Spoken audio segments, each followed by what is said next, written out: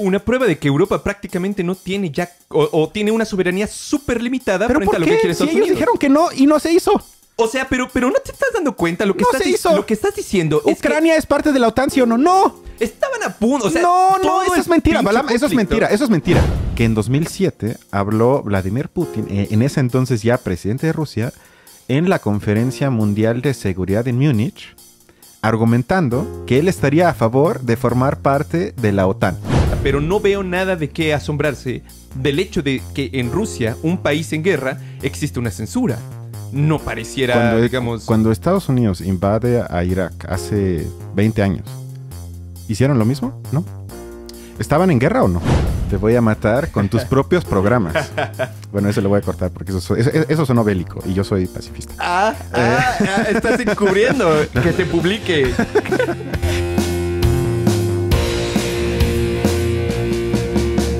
Hola, ¿cómo están? Les damos la bienvenida a una edición especial en las que los saludan como siempre Balam y Cristian.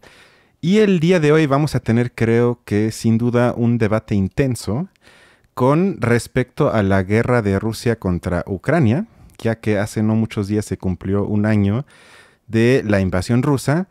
Y en algunas ocasiones Balam y yo tuvimos discusiones por chat y dijimos que es necesario hacer un programa especial sobre esto y vamos a ver qué tal se pone. Efectivamente, pues igual que, que siempre, les recordamos que pues aquí no hay nada que recordar. Esto va a ser un debate sin piedad. Pero lo importante es justo eso, o sea, que no. que. que luego las discusiones se quedan nada más en mensajes y lo importante es a veces armarse lo más que se pueda y, ponerse a debatir. Que además he visto pocos espacios donde se trata de contraponer dos posturas no dogmáticas, digamos. Casi siempre o hay tres que opinan a favor de un lado o tres que opinan en contra de ese lado, pero casi nunca hay como dos posiciones que en sí mismas creo que no son rígidas y que creo que algo que podemos afirmar que cada uno de nosotros se ubica del lado político de la izquierda y tratamos, quizás encontrándonos de, de alguna forma, en esa ideología que en el fondo creo que quiere lo mismo. Sí, estoy de acuerdo. Digamos, en aunque partimos de posturas distintas, no quiere decir que no seamos capaces de reconocer lo que los argumentos del contrario y tratar de reflexionarlos, que a fin de cuentas es, es lo que importa y lo que enriquece en un debate, a fin de cuentas. Bueno, dicho nada más. Fuera máscaras. Fuera máscaras. Aquí cada quien se va a revelar de su lado. ¿Quieres que comience yo o vas tú? Eh, dale, dale, dale. Bueno, lo que a mí me respecta, quiero, o, o por lo menos voy a tratar de abordar dos temas principales, que es por un lado la ideología actual dominante en Rusia y sus posibles implicaciones para la población rusa y su correspondiente cobertura mediática y por el otro la lógica imperialista por parte del régimen de Putin que desde mi punto de vista es imposible soslayar. Esos digamos serían los dos ángulos que yo quiero abordar porque como seguramente te pasó igual, es un tema tan grande que se podría abordar de mil, ángulos, pero estos desde mi punto de vista por lo menos son los dos más importantes. Bueno, yo, eh, mi punto de vista, yo creo que el fundamental sobre el que trataré de argumentar es eh, uno de los que cuando estábamos discutiendo fue algo con lo que no estuviste de acuerdo y parece que te mantuviste mucho en esa posición. Entonces, quisiera ver si puedes, digamos, eh, contraargumentar a Ya esto. comenzamos con fake news, que es está bien. la guerra es entre Estados Unidos y Rusia, no es entre Rusia y Ucrania, ni es solamente ello. Y que dentro de esa Rusia, eh, de- más bien dentro de esa guerra, Europa está jugando un papel, la verdad, bastante lamentable. Esa es Ay, una ay, posición, ay, esa es una argumentación. Y otra es justamente el tratamiento que se está dando eh, desde los medios de comunicación. Creo que en eso los dos estamos de acuerdo, que es algo importante de abordar, tanto del lado ruso como del lado eh, eh, occidental. Pero yo quisiera también terminar con una especie de eh, vislumbramiento futuro, porque a veces también le hacemos de oráculos. Entonces, Tú, yo, porque yo traigo hechos y datos duros, pero se ve que tú vas a especular metafísicamente como te conviene. Vamos a ver. Vaya, vaya, vaya. Vamos a ver, vamos a ver. Eh, ¿Quieres iniciar o voy yo? Da- dale, dale. Bueno, me gustaría iniciar, a ver qué te parece, con algunos audios del programa de alguien que igual que tú parece a veces agente ruso, que es tu querido amigo John Ackerman, que sale en, que sale, que sale en UNAM TV y que tuvo como invitada a Ina Afinogenova. Que, ¿Quién es ella? Es creo que una de las, si no la colaboradora, hay que decir ex colaboradora de RT México, eh, más importante y que era de alguna forma yo creo que la encargada del contenido de ese canal sobre temas de nuestro continente. Creo que de forma general eso es lo que ella fue. Y comencemos entonces con el primer audio porque para poner en contexto esto, ella decidió abandonar su trabajo en el canal y abandonar el país. Y ahorita vive en España y estuvo hace algunas semanas en el programa de John Ackerman. Y vamos a escuchar. ¿Quieres decir algo? Eh, sí, digamos, nada más agregar que hace un programa con Pablo Iglesias y el resto que se llama La Base y lo publica en prácticamente diario. De hecho, también traje audios de ese programa. Ah, pues yo también. Te voy a matar con tus propios programas. bueno, eso lo voy a cortar porque eso, eso, eso sonó bélico y yo soy pacifista. Ah, ah, ah estás encubriendo que se publique. Comencemos con el primer audio de Ina. Eh, mi salida eh, de, RT se debe a que RT es un canal público de un país que en un momento en el que yo salgo entra en guerra y en un país que entra en guerra eh, pues se rige por una serie de reglas internas muy estrictas que hacen prácticamente imposible el ejercicio periodístico. Entonces yo intuí, nadie me ha dicho nada, al igual esto igual hay que aclararlo porque luego la gente se hace fantasías de que desde RT me amenazaron. No, no, no, yo intuí que yo eh, tal y como desarrollaba mi trabajo hasta ese entonces, no lo podría seguir haciendo. Entonces decidí que lo mejor para mí, para mi profesión y para mi, para mi corazoncito, porque yo no puedo llamar, eh, referirme a la guerra como la operación especial militar y ponerme de perfil cuando mueren civiles en un país vecino. Eso está clarísimo. Creo que con esto queda claro el porqué de su salida de Rusia y que ni siquiera alguien como ella tuvo ganas de seguir con la lógica propagandista impuesta en este instante por el régimen de Putin.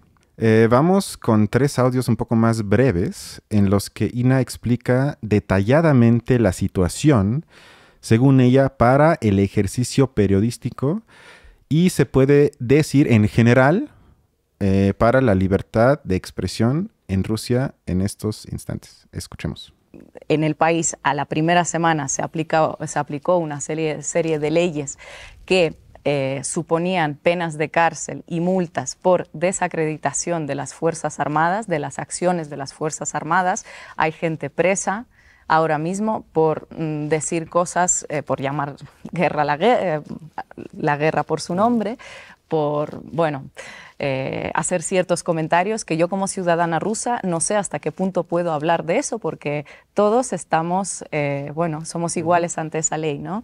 Entonces, eh, ¿cómo te imaginas el ejercicio periodístico dentro de Rusia ahora mismo? O te callas o le das una justificación y una argumentación a esta guerra, que si estás de acuerdo bien, eh, para mí es condenable, pero es tu postura, pero si no estás de acuerdo y le tienes que dar argumentación y la tienes que justificar, yo no sé cómo se puede vivir con eso. Yo no podría, entonces en ese momento decidí dejarlo todo y irme. ¿Quieres expresar algo vamos con el siguiente audio? Venga, continúa. Vamos. Y algunas personas están encarceladas hoy, eh, dos opositores por hablar sobre Bucha públicamente un diputado municipal moscovita, Alexei Gorinov, condenado a siete años de cárcel por pedir un minuto de silencio por los niños ucranianos. Una periodista fue condenada a seis años mm, la semana pasada por un post en Instagram sobre las víctimas del bombardeo del teatro de Mariupol. En las provincias, hace, en, Siberia, hace unos meses, condenaron a tres años de cárcel por, a un señor, un trabajador metalúrgico, por armar una emisora de radio en su pueblo que emitía en su pueblo mensajes antivilecistas. Bueno, ese señor tiene 61 años y había, había llamado a esa subversiva emisora Boba FM, Vladimir FM, o sea, con su nombre y emitía un pueblecito ahí pequeño, remoto de Siberia. ¿Quieres decir algo? Vamos con el último sobre, sobre este tema. Bueno, y eso hace que Rusia informativamente ahora mismo es tierra quemada, no se puede ejercer periodismo y eh, quedan muy pocos medios, realmente se los puede calcular con los dedos de una mano, con valor o el poder suficiente como para mantener posturas contrarias a la guerra. Eh, antes también empezó la práctica de etiquetar a ciertos medios y periodistas como agentes de extranjeros y aunque eso no significase mucho en la práctica, tú puedes seguir ejerciendo, pero eso significa que mm, ya las fuentes no quieran colaborar contigo, los invitados no quieran ir por supuestas represalias que puedan tener después y los anunciantes no quieran, eh, pues no quieran tener nada que ver contigo. Con lo cual esto mata directamente a las redacciones. Bueno, yo creo que más claro, imposible. La pregunta entonces es, ¿cómo nos podemos informar sobre el lado ruso? o cómo podemos, digamos, obtener la versión del lado ruso. Y me parece que con lo expuesto es imposible, no se puede, porque hay ahorita un régimen sin excepción que evita cualquier tipo de expresión que cuestiona la política del régimen actual. Mientras tanto, un poco para polemizar quizás, en Occidente hay muchas voces divergentes en muchos sentidos. Una de, esas que me gustó fue la intervención de Jürgen Habermas, que escribió un artículo donde critica a muchos políticos europeos y cuestiona más o menos el manejo demasiado bélico, según él, en los últimos meses, sin abandonar la postura en apoyo de defender a Ucrania de la invasión rusa. O sea, me parece una posición bastante intelectualmente complicada en el sentido de que trata de, digamos, argumentar que si tú como Occidente, entre comillas, mandas armas, tienes que también asumir una responsabilidad moral sobre los muertes que provocas con esas armas que mandas. Y que no puedes decir yo mando armas y que luego ellos se hagan bolas. Y creo que ese tipo de complicaciones y de discusiones públicas muestran que en alguna parte del mundo sí se permite, por lo menos en parte, tampoco es el mundo ideal, pero en parte, la disidencia y en el otro por completo quedó sujeto a que tienes que opinar lo mismo que el régimen si no estás fuera. Bueno, a mí me parece más bien, o sea, es, es evidente que dentro de Rusia existe esta posición porque es un país prácticamente en guerra. Yo más bien me preguntaría qué país en guerra deja que vengan como posiciones o existan, digamos, libre oposición directa de medios de comunicación y actores políticos internos eh, contra de un gobierno que está prácticamente en un estado de guerra. Yo preguntaría en qué país en la historia ocurre así. Y si lo hubiese alguna vez, probablemente debe ser menos del 1%. O sea, a ver, espérame. Es decir, es como una cuestión rara, pero no veo nada de qué asombrarse del hecho de que en Rusia, un país en guerra, existe una censura. No pareciera, cuando, digamos... Cuando Estados Unidos invade a Irak hace 20 años, ¿hicieron lo mismo? ¿No? ¿Estaban en guerra o no? Estaban en guerra los Estados Unidos contra... Eh, pero no de manera salieron millones. Ah, bueno, entonces fue diferente. Pero porque en ese momento salieron millones a las calles dentro de Estados Unidos para protestar en contra de la guerra. Algunos medios estaban a favor, otros en contra. En Rusia también están saliendo. En Rusia también están saliendo. Millones están en la calle y has visto cómo los, tratan en la calle. No los he contado, seguramente. Igual que cómo trataron los gringos a, sus propios manifestantes. Perdón, pero una muy buena parte terminaron en la. No, ma. Sí los dejaron. Una muy buena parte los terminaron en la cárcel. Y, y veámoslo de la siguiente manera. Dentro del propio país de Afganistán, dentro de las zonas que tenía dominadas Estados Unidos, ¿permitía la libre prensa? ¿Permitía que, digamos, eh, notas contra su propio gobierno que estaba impuesto Estados Unidos? Pero eso es un pues mal en absoluto no. Claro que no, porque esa es una zona que estaba gobernada por Estados Unidos. Yo, yo quiero dejar algo claro. El hecho de que en Europa y Estados Unidos exista, digamos, como cierta tolerancia a, las opiniones contrarias, y esto es un análisis que has hecho desde los años 50 por gente que no es de Europa, evidentemente, desde la crítica anticolonial de, de, África, por ejemplo, Franz Fanon, no se tiene que hacer eso, es decir, no tienes que amordazar directamente porque existe algo llamado hegemonía. Y la hegemonía te permite una estabilidad dentro de, o sea, has creado una serie de instituciones culturales y has creado una serie de instituciones políticas que te permiten tener control o, dominar una cierta sociedad sin necesidad de recurrir a la fuerza.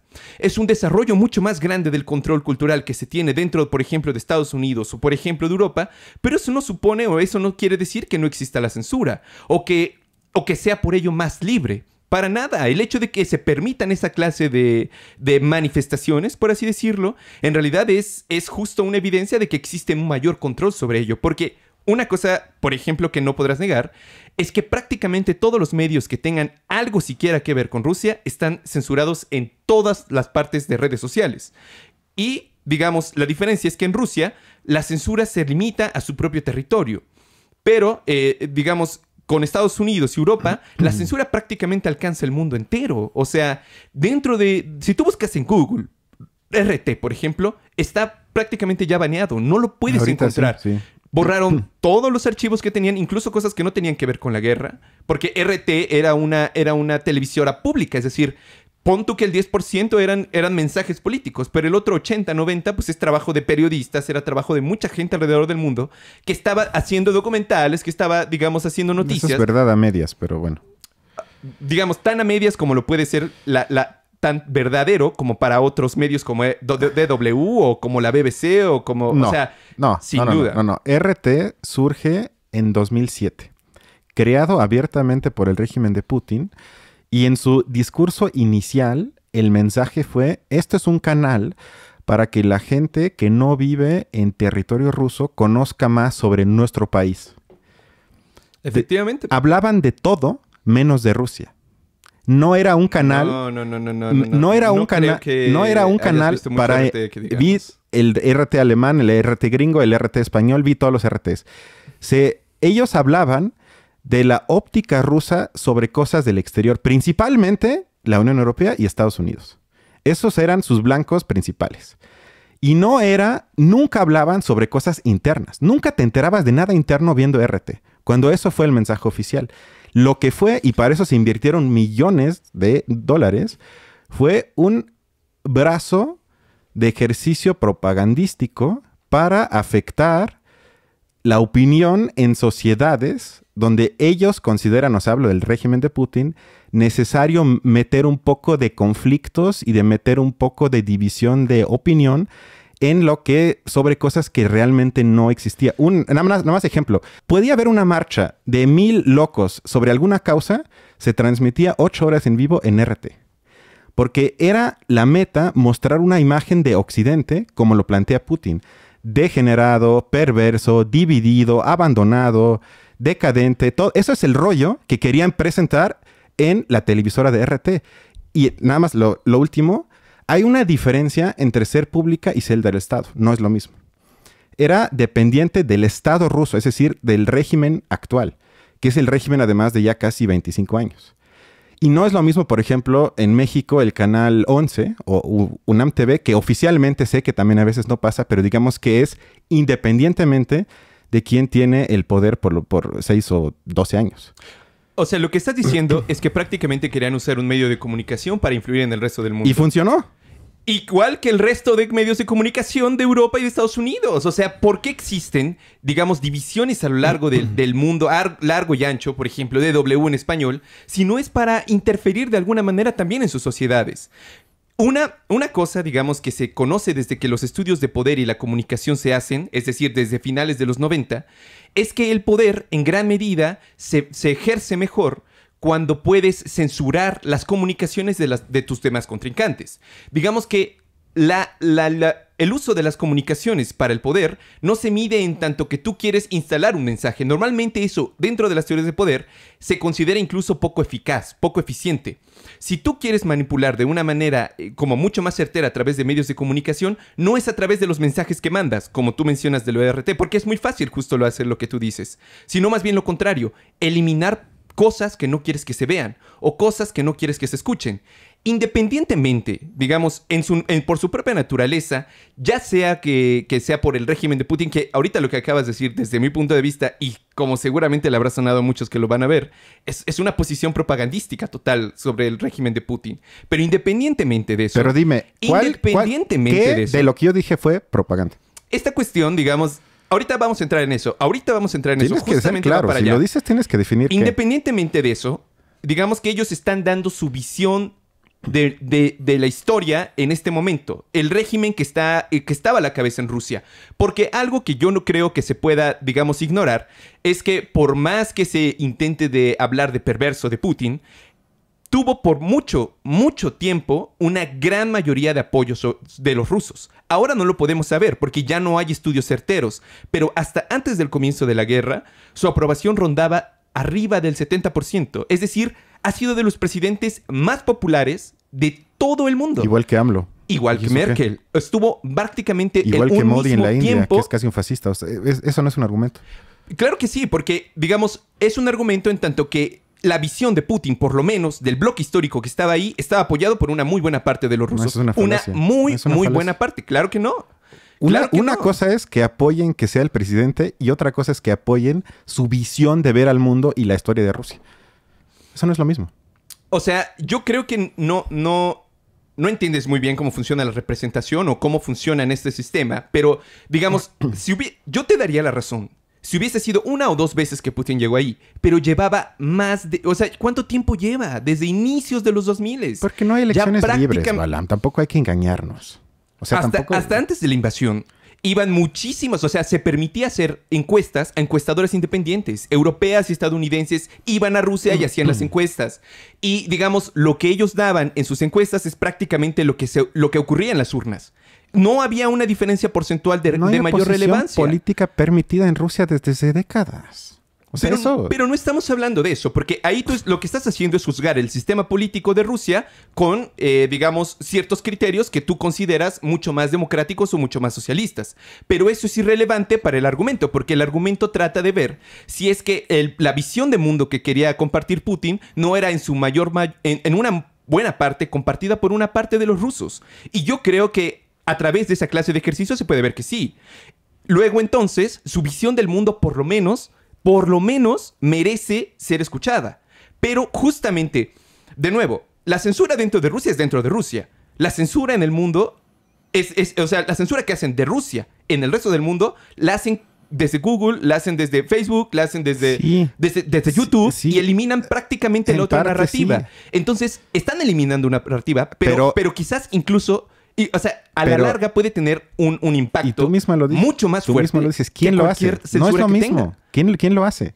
¿De qué? ¿De Google, YouTube, Exacto, Twitter todos ¿quién ellos? es? Hace un año que llegó Elon Musk a Twitter, lo que, lo que sacó fue que Estados Unidos, el gobierno, le mandaba todos los, todas las semanas una lista de güeyes a los que hay que censurar. Y Sobre entonces, algún tema específico y a veces le hacían caso o no. No, pero no, no, no a veces le hacían caso igual, no. igual- Todas las semanas mandaban, y si todas las semanas mandaban, significa que era algo recurrente. Y si era algo recurrente, significa que diga, prácticamente Twitter, Google, Facebook y YouTube funcionan a- de acuerdo al gobierno de Estados Unidos y con la CIA en una coordinación prácticamente eh, Eso sincrónica. entonces hubiera hecho casi imposible que alguien como Trump pudo ganar. Porque ahí, de hecho, invitan a Mark Zuckerberg, posterior de la elección, sale el escándalo de Cambridge Analytica, donde queda claro que los políticos ni siquiera sabían qué es lo que estaba pasando y fue la primera elección que fue, digamos, afectada por el manejo, sin duda, propagandístico por parte Claro de algunos sí. actores. Pero, Pero- no son, pero no es un régimen co- compacto de que van en una dirección. En cuanto, Hay en, cuanto, en internos. cuanto Tom terminó su, su- su periodo, lo censuraron de Twitter y de todos lados. O sea, prácticamente ocurrió lo que estás diciendo. Lo único es que no lo hicieron antes, antes de que llegara al poder. Yo creo que porque no lo pensaban. Yo creo que una muy buena parte de los estadounidenses no se lo imaginaban. Perdió en términos reales. Pero ¿cómo puedes co- comparar eso? O sea, ¿cómo puedes comparar a alguien que abiertamente defendía el discurso de es odio? irrelevante. Para, para el punto en específico que estamos tratando, No, el hecho no es de, que, irrelevante. de que RT, por ejemplo, No. así como sus medios de comunicación, su punto de vista, yo creo que merece y merecía desde el principio. Bajo tu lógica, ser hasta Hitler, hasta Hitler merecía un micrófono. Y perdóname, pero no. Es que no. La libertad de expresión para que pueda funcionar como libertad de expresión tiene límites. Y tú como Trump no puedes usar, bueno, puedes porque lo hizo, usar tu cuenta de Twitter alimentando fantasías violentas de alguna parte de la gente que te, que te sigue y con eso potencialmente poner en peligro a minorías dentro de Estados Unidos. No puedes. Lo hemos discutido aquí. O sea, incluso me parece que fue la sesión pasada. Tú no puedes censurar a alguien nada más porque no estés de acuerdo. ¿Quién dice qué sí es y qué no es? O sea, de nuevo, estamos en esta paradoja que dicen los gringos que es mejor para evitar llegar a una tiranía matar al tirano, aunque eso sea un acto tiránico por sí mismo. Yo nunca dije matar. Bueno, censurar. O sea, el- quitarle el, micrófono, eso no es lo mismo que matar. pero, pero censurar, por ejemplo, o sea, contra alguien que- con quien tú no estás de acuerdo o que no alcanzas a comprender su punto de vista, la vez pasada justo lo que habíamos dicho es que no, un discurso de odio no se puede desactivar simplemente censurándolo o no es la manera correcta. Lo ideal es tratar de contraargumentarlo, lo ideal es tratar de Acompañarlo con de contraargumentos, de Estás acuerdo, defendiendo sí. lo contrario. No, carnal. no, no, no, claro que no. Yo, obviamente, jamás diría que con eso ya no hay trumpismo. Ya con eso quedamos en el paraíso, claro que no. Pero sí, no puedes permitir el discurso de odio que afecta a millones, y menos siendo el presidente de los Estados Unidos, perdón, pero eso no se puede. Con eso yo jamás diría que me gusta de la, de la forma que se hace ahorita, que una empresa privada tome decisiones, quién sabe cómo, porque eso sí es un hecho que no sabemos con, con base en qué tipo de criterio dicen a ti te lo quito y a, a ti no, que yo lo que diría y lo que no me gusta y creo que eso lo podemos compartir es que no haya mecanismos públicos transparentes que argumenten y justifiquen una decisión como la de quitarle su cuenta de Twitter a Trump. Eso sí es un problema. O sea, yo jamás diría que qué bueno que alguien como Elon Musk tenga el poder de darle a alguien el micrófono o no. Eso sí es un problema. Jamás diría que eso está bien. Pero el punto del que estábamos hablando es que, ¿cómo puedes decir que en Rusia hay más o menos el mismo grado de democracia y apertura cuando aceptas que no se permite ninguna disidencia interna? Entonces, vamos a decir que estamos en Rusia. ¿Cómo me voy a informar para tener una opinión crítica sobre el gobierno? No se puede.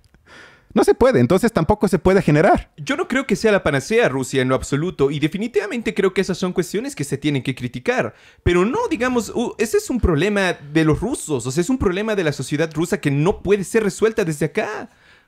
O sea... Pero a ver, si quieres, para no estancarnos aquí, porque creo que estoy de acuerdo. vamos a avanzar. Ahora, yo quisiera, digamos, más bien, me parece que tocaste uno de los puntos, usted, señor Christian, que es, ha sido fundamental dentro de la propaganda en general que se ha estado difundiendo.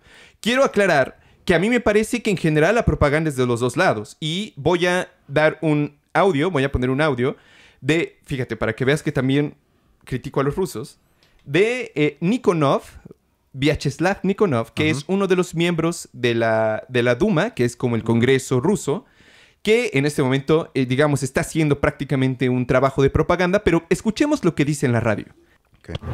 Знаете, действительно, э, ведь э, конфликт, который там происходит, он эсхатологический в значительной степени. A gran escala, Не esto es un conflicto конфликт, escatológico. там, Esto no es un в conflicto Украине, entre Rusia y который Ucrania, совершенно que es искусственный. totalmente Вообще artificial. один народ. Somos un solo pueblo. Это конфликт э, добра и зла. Este es un conflicto entre el bien y el mal, Американцы готовят entre la luz y la oscuridad. Pronto los americanos tendrán un congreso satánico, el más grande de la historia de la humanidad. Bueno, creo que eso ha sido suficiente, digamos, para, para darnos cuenta que... Pero si te suena, casi sonó como a, Biden hablando sobre Putin o justo como tú estabas hablando ahorita de él. O sea, yo creo que en el fondo, ambos, ambos lugares, desde ambas posiciones, se ha estado tomando, al menos la propaganda, yo creo, esas posiciones o posturas como mucho más personalistas, si lo quieres ver. Pero a mí me parece que en el fondo... eh, pues prácticamente tanto medios occidentales como medios rusos están tomando esa posición, lo están queriendo ver, creo yo que coincide en el punto en el que quieren verlo como un choque de civilizaciones. Me da la impresión de que mucho de la propaganda, tanto de un lado como de otro, habla de esta guerra o de este conflicto como un choque de civilizaciones. Me parece que es eso está en la vena de la propaganda de ambos lados. Observar el conflicto como una lucha entre el bien y el mal, obviamente la, maldad como, como vislumbrada como el enemigo, entre un modelo civilizatorio que asegura la libertad o la dominación total. Pero para mí esto es despolitizar el conflicto, pues en el fondo es un conflicto imperialista. Ambos bandos se esfuerzan en contar que no es así, pero el análisis geopolítico brinda otra visión. Entonces, el punto es ese. Esto se trata de un conflicto imperialista, pero es natural que un lado va a tratar de censurar lo mismo que el otro, es decir, es una guerra. Pero a mí me parece que se despolitiza muchísimo tratando de verlo justo como un choque de civilizaciones. Los personajes de Zelensky y de Putin se levantan como dos polos opuestos de una narrativa cuasi religiosa incluso. Al primero, digamos a Zelensky, se le ve como un héroe del mundo de la libertad O al revés, sí. y Putin se ve más bien como el... eh, Casi como Sauron, sí. Sí, como, como el malo, se le atribuyen todas las cualidades malignas, como el enemigo de las películas de Marvel, prácticamente, ¿no?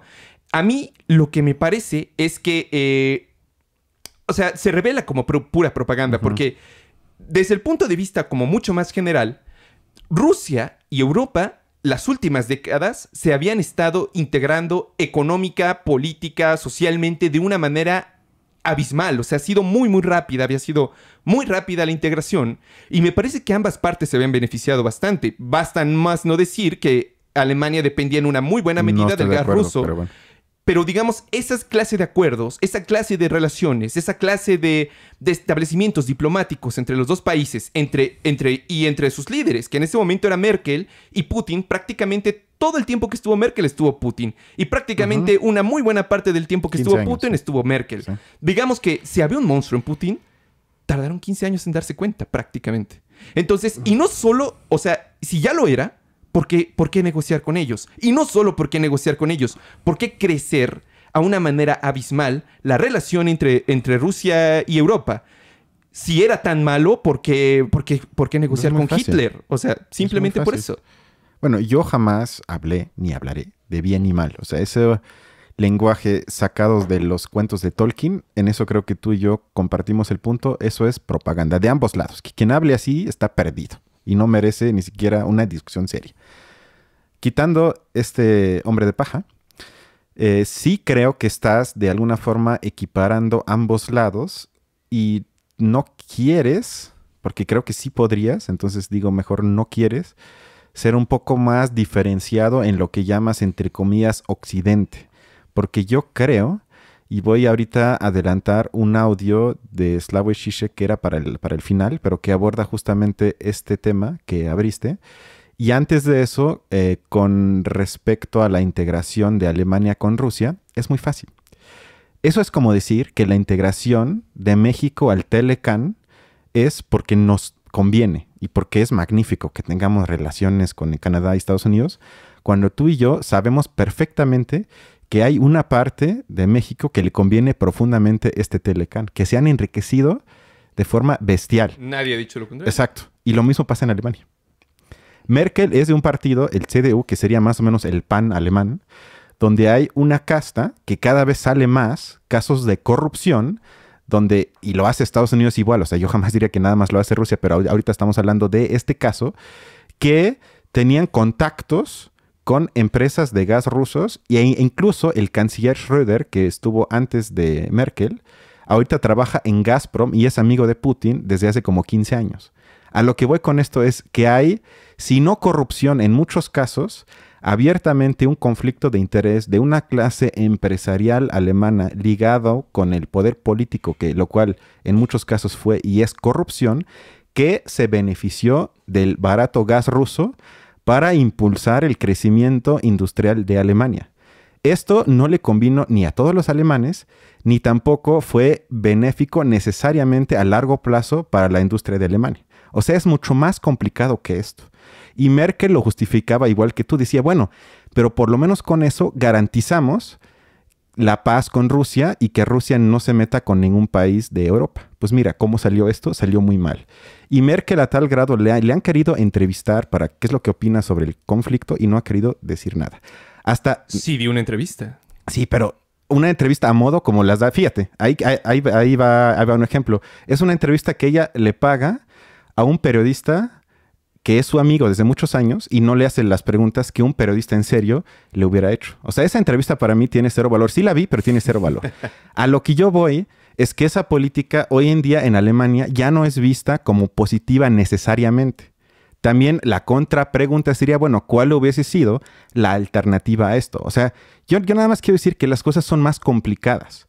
Y ahora sí, vamos al audio de Shishek, en el que te va a contestar y te va a dar, para mí, la respuesta magistral a cómo podemos complicar el asunto para no quedarnos, como él dice, y lo comparto, en el mundo de Putin.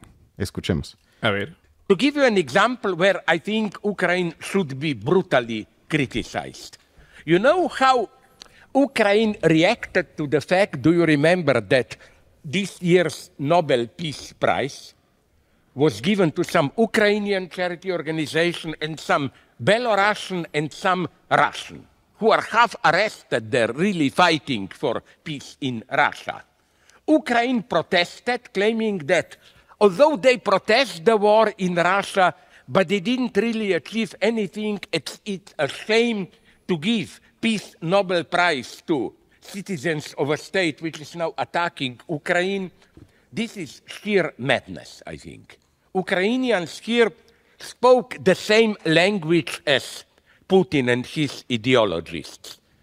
They spoke as if it's a conflict, and here I also disagree with Ukraine. You know, they like to speak about we are defending Europe. I, uh, it's like Europe against Russia. They, they speak almost the same language as Dugin, Putin ideologists here. No, we should insist on it. This is a struggle inherent to Europe itself. We have our own fascists and so on, neo fascists, internal to Russia itself, and so on and so on. If we lose this universal approach and go into this water, you know, Ukraine is defending Europe and so on, we are lost. Bueno, este argumento me parece de los más importantes del día de hoy porque lo que nos dice Zizek es que no son dos bloques homogéneos que se enfrentan, por lo tanto, que los ucranianos digan que están defendiendo al continente europeo o hasta más allá de eso, la libertad, es una falacia, al mismo tiempo como igual lo es que los rusos digan que se están defendiendo contra el bloque de Occidente degenerado que los quiere eliminar, sino que como dice Zizek, cada país está atravesado por las mismas contradicciones. En, en este caso hablamos de las tendencias fascistas, entre otras, y por lo tanto la única forma desde la izquierda de ver esta lucha es de forma universal. En otras palabras, de ver las contradicciones inmanentes y no pensar en la lógica de la geopolítica que únicamente es capaz de hablar de zonas de influencias de poder dejando fuera por completo a las personas como tú y yo como sujetos con agencia y además que no, nunca somos parte de ninguna lógica de ecuación, sino únicamente somos juguetes para los bloques de poder. Y creo que es la única forma que podemos evitar eso que tú dices, que muchos sí lo hacen, eso yo lo comparto. O sea, tú prendes CNN, la BBC y muchos, tampoco digo que todos, pero muchos hablan en esos términos, que el ruso es el malo, hasta festejan los muertos rusos en la frontera y todo eso. Eso, eso me parece vomitivo, en eso estamos de acuerdo. Pero gente como Habermas o Zizek muestra que si caemos en ese, digamos, lenguaje donde agrupamos a las personas en tribus unos contra otros, me parece que estamos fallándole al legado marxista que nos hablaría de la contradicción principal, que es la del capital, y esa existe en ambos países. Por lo tanto, tendríamos que ser solidarios con la gente que muere en Ucrania y la gente que muere en Rusia, ambos por ideologías falsas. ¿Te pude convencer por lo menos un poco o no? O sea, yo, yo creo que estoy de acuerdo con el punto de vista de, de. Creo que, creo que tiene razón, digamos, en ese sentido, como, como también en la Primera Guerra Mundial, cuando platicamos en el estupendo episodio sobre eh, Sin Novedad en el Frente, cómo el bloque internacional en su momento trató de, de hacer que la guerra no fuera entre las potencias, porque en realidad de- trataban de decir que era guerra de clases obreras contra clases obreras, y en el fondo, pues eso no era el punto, ¿no? Que se trataba de virarlo. Sin embargo, eh, digamos, creo que la posición de Zizek es un poco... se queda corta. O sea, no creo que sea del todo... eh, no creo que sea todo el asunto, pues, porque yo estoy de acuerdo que... que, que que no, que no a lo mejor esta idea de nación como se ensalza como súper abstracta, como para justificar esta clase de eventos, eh, no nos deja ver, digamos, a las personas que están ahí. Pero a mí me parece que por el otro lado, quedarse únicamente, o el gran tratamiento de los medios se va a lo personal. Entonces, el, incluso Zizek dice, Ucrania está defendiendo Europa justo como, como ha- habla justo como, habla, cuando Ucrania dice que está defendiendo Europa, está hablando justo como hace Putin. Entonces el punto, y vuelve a decir, es para no quedarnos en el mundo de Putin. A mí me parece que una idea, un movimiento o una nación son conceptos muy abstractos a veces para dirigir a ellos el odio. Entonces, muchas veces se utilizan desde los medios de comunicación que es un individuo el, hacia cuál se dirige. Digamos que sean enemigos concretos, pintorescos, como los de Estados Unidos. Por ejemplo, Hussein, Gaddafi y Castro, Putin se agregaría como uno más a la larga lista de, de estos enemigos súper pintorescos, súper extraños, eh, súper dictadores, enemigos que engendran el mal. Y a mí me parece que eso es lo que en gran medida o tiene un gran contenido despolitizante, porque yo estoy de acuerdo que el punto es enfocarnos en cuáles son las contradicciones fundamentales, pero no podemos, eh, digamos, dejar de lado el hecho de que si queremos hablar de este conflicto o si queremos analizarlo, la única forma seria de comenzar a hacerlo, eh, eh, digamos, tratando de, irnos más allá desde nuestras posiciones parciales, es un análisis desde lo general. No hay, no hay otro. O sea, primero comenzar con el análisis de las relaciones mundiales de entre los países. Y eso necesariamente te lleva a la geopolítica. Y no, no digamos porque, porque hable de los términos en términos geopolíticos, quiere decir que no se puede avanzar un análisis mucho más detallado de las condiciones de, eh, sociales, las contradicciones de clase y todo lo demás. Pero, pero el hecho de que eso tenga validez no le quita validez a lo otro. La teoría geopolítica no solamente, digamos, sirve para aclarar muchas cosas en el mundo, sino que además tiene un gran poder explicatorio. O sea, ¿qué otra teoría te puede explicar los movimientos del mundo? O sea, ¿qué otra forma de verlo hay? Porque hay movimientos mucho más allá de las clases sociales. Las clases sociales actúan dentro de, un cierto margen de acción. No pueden irse, por ejemplo, tan fácil de nación a nación. Se ha querido hacer mucho eso y es una lucha desde la izquierda, pero es, un, es digamos, una frontera real. No es que no exista la frontera de la nación.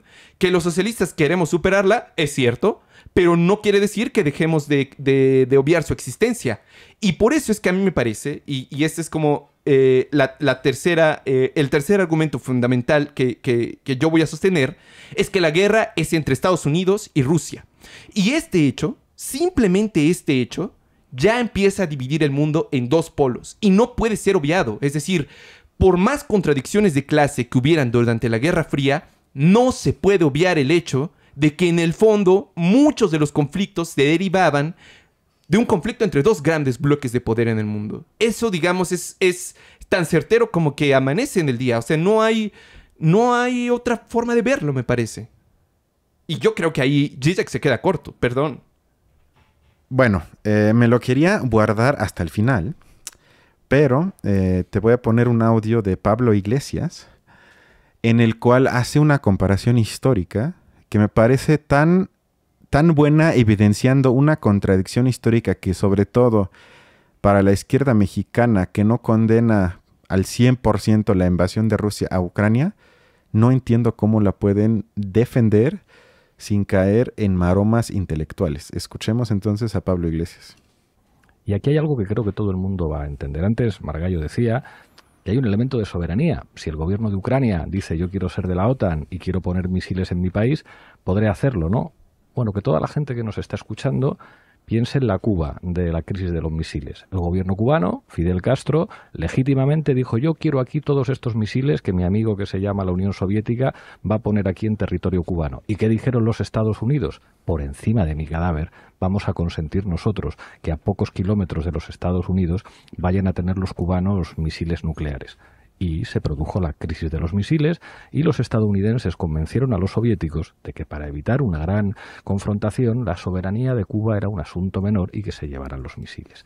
Y se llevaron los misiles.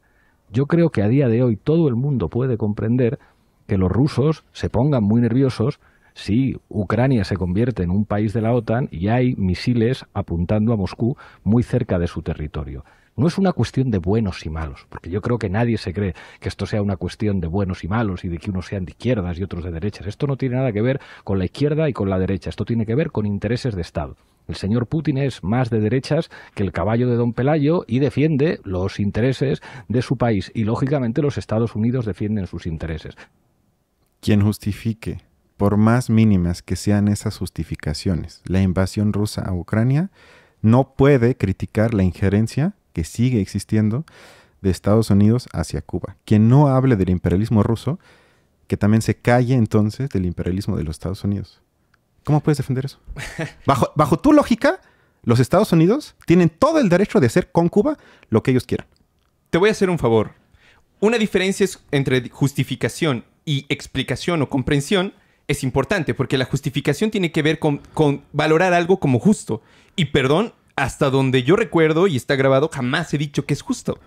O sea, no, no veo, digamos, Semántica, el ok. caso. Entonces, ¿comprendes a los gringos sus intentos de matar a Castro, de invadir a Cuba? Eh, sí, eh, probablemente sí, es bastante comprensible, pues son, son amenazas contra ellos mismos. No me parece que sea correcto, no es justo y por eso no estoy de acuerdo, pero perfectamente se puede comprender sus intenciones. A ver, yo creo que hay, que- hay que dejar algo bien, bien claro. No es realista y por ende tampoco es de izquierdas suponer una libertad abstracta y limitada para cualquier país, sea el que sea. Y justamente... Porque en re- eso no es cierto. O sea, en realidad no existe la soberanía perfecta. No existe, digamos, una soberanía ilimitada o así. Todos los países están en relaciones con todos. Sí. Las relaciones sociales marcan límites por sí mismos. Significa que no ningún país, justo como en el caso de Cuba, por el hecho de estar relacionado con otras soberanías, no puede simplemente poner en riesgo al otro. Es así de sencillo. El, el ejemplo es claro. Y me parece que lo que está pasando en, en- en Rusia y Ucrania fue algo muy similar, porque se ha hablado ya bastante de eso.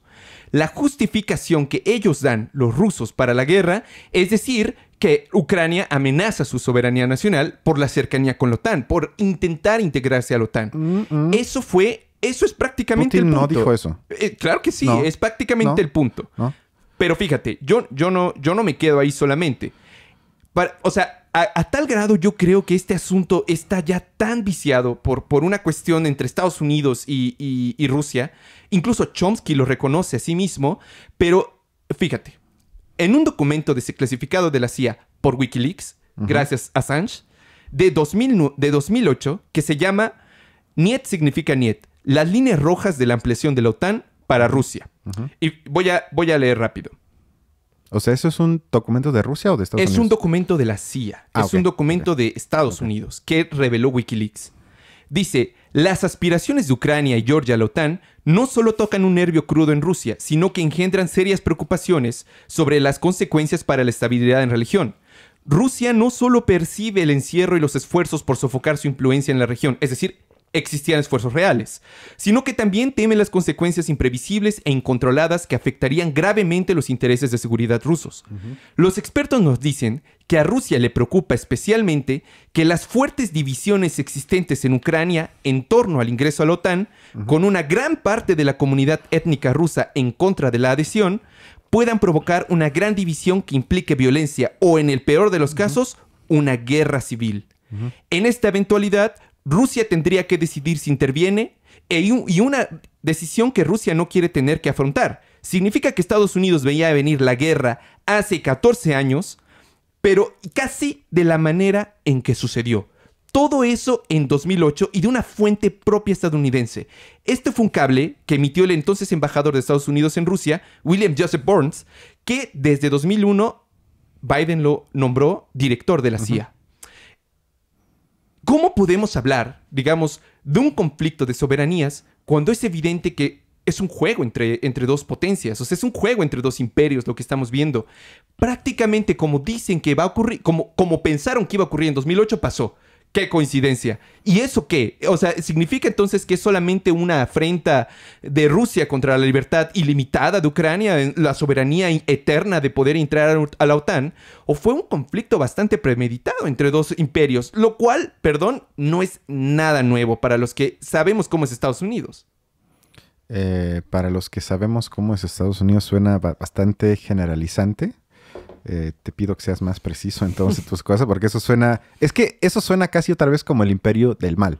Y creo que no quieres decir eso. O sea, sé a lo que te refieres, pero yo creo que ya con esos términos otra vez estamos cayendo como si fuese el imperio del mal. Que Para lo, nada, Que sabemos lo único que hace es. Para nada, pero sabemos que Estados Unidos invade muchos países, bueno, normalmente por sus recursos, tiene un gran conflicto con Rusia.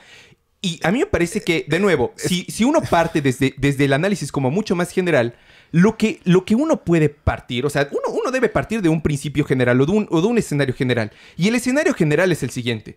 Los 500 años que ha tenido, digamos, eh, de preponderancia Occidente sobre el resto del mundo, prácticamente se están acabando. Lo que estamos viviendo es el ascenso de Oriente. tranquilo. Lo que estamos viendo es el ascenso de Oriente. O sea, China y la India están creciendo de una manera abismal. Y eso, digamos, representa necesariamente, digamos, un punto de quiebre frente a, muchas de las potencias occidentales, empezando por Estados Unidos. Como si no se explica la ruptura de las relaciones. De nuevo, hace rato que estábamos hablando de lo de Merkel, Putin y el crecimiento de las relaciones entre, entre Rusia y Alemania, tú lo que argumentaste fue que esto era nada más un conflicto entre las élites. Era una cuestión en que las élites se beneficiaron de uno y otro lado. Pero a mí me parece que independientemente de eso, nadie puede negar el hecho de que las relaciones entre Rusia y principalmente Alemania estaban en un grado de estabilidad bastante grande, al grado de que estaban aumentando económicamente. Si no hubieran habido condiciones políticas para el crecimiento de las relaciones, simplemente no, hubieran, no, no se hubieran visto reflejadas en la cuestión económica. Independientemente de que sus élites o de que, fuera, de que fuera un acuerdo entre élites o no. Eso es irrelevante. El punto es que algo en esa estabilidad lograda entre las dos potencias se rompió. Y qué extraño. Vemos aquí un documento de la CIA que prácticamente prevé como oráculo. Ahora sí que ellos veían el futuro porque pasó exactamente te como lo guían dijeron. tus prejuicios, te guían tus prejuicios. A ver, este es un documento de 2008. ¿Estamos de acuerdo? Dijiste 2008, ok. Es decir, De la ca- CIA. 14 años antes de la guerra. Así es. No fue un año antes, 14 años antes. 14 años. En esos 14 años pasó muchísimo. ¿Estamos de acuerdo?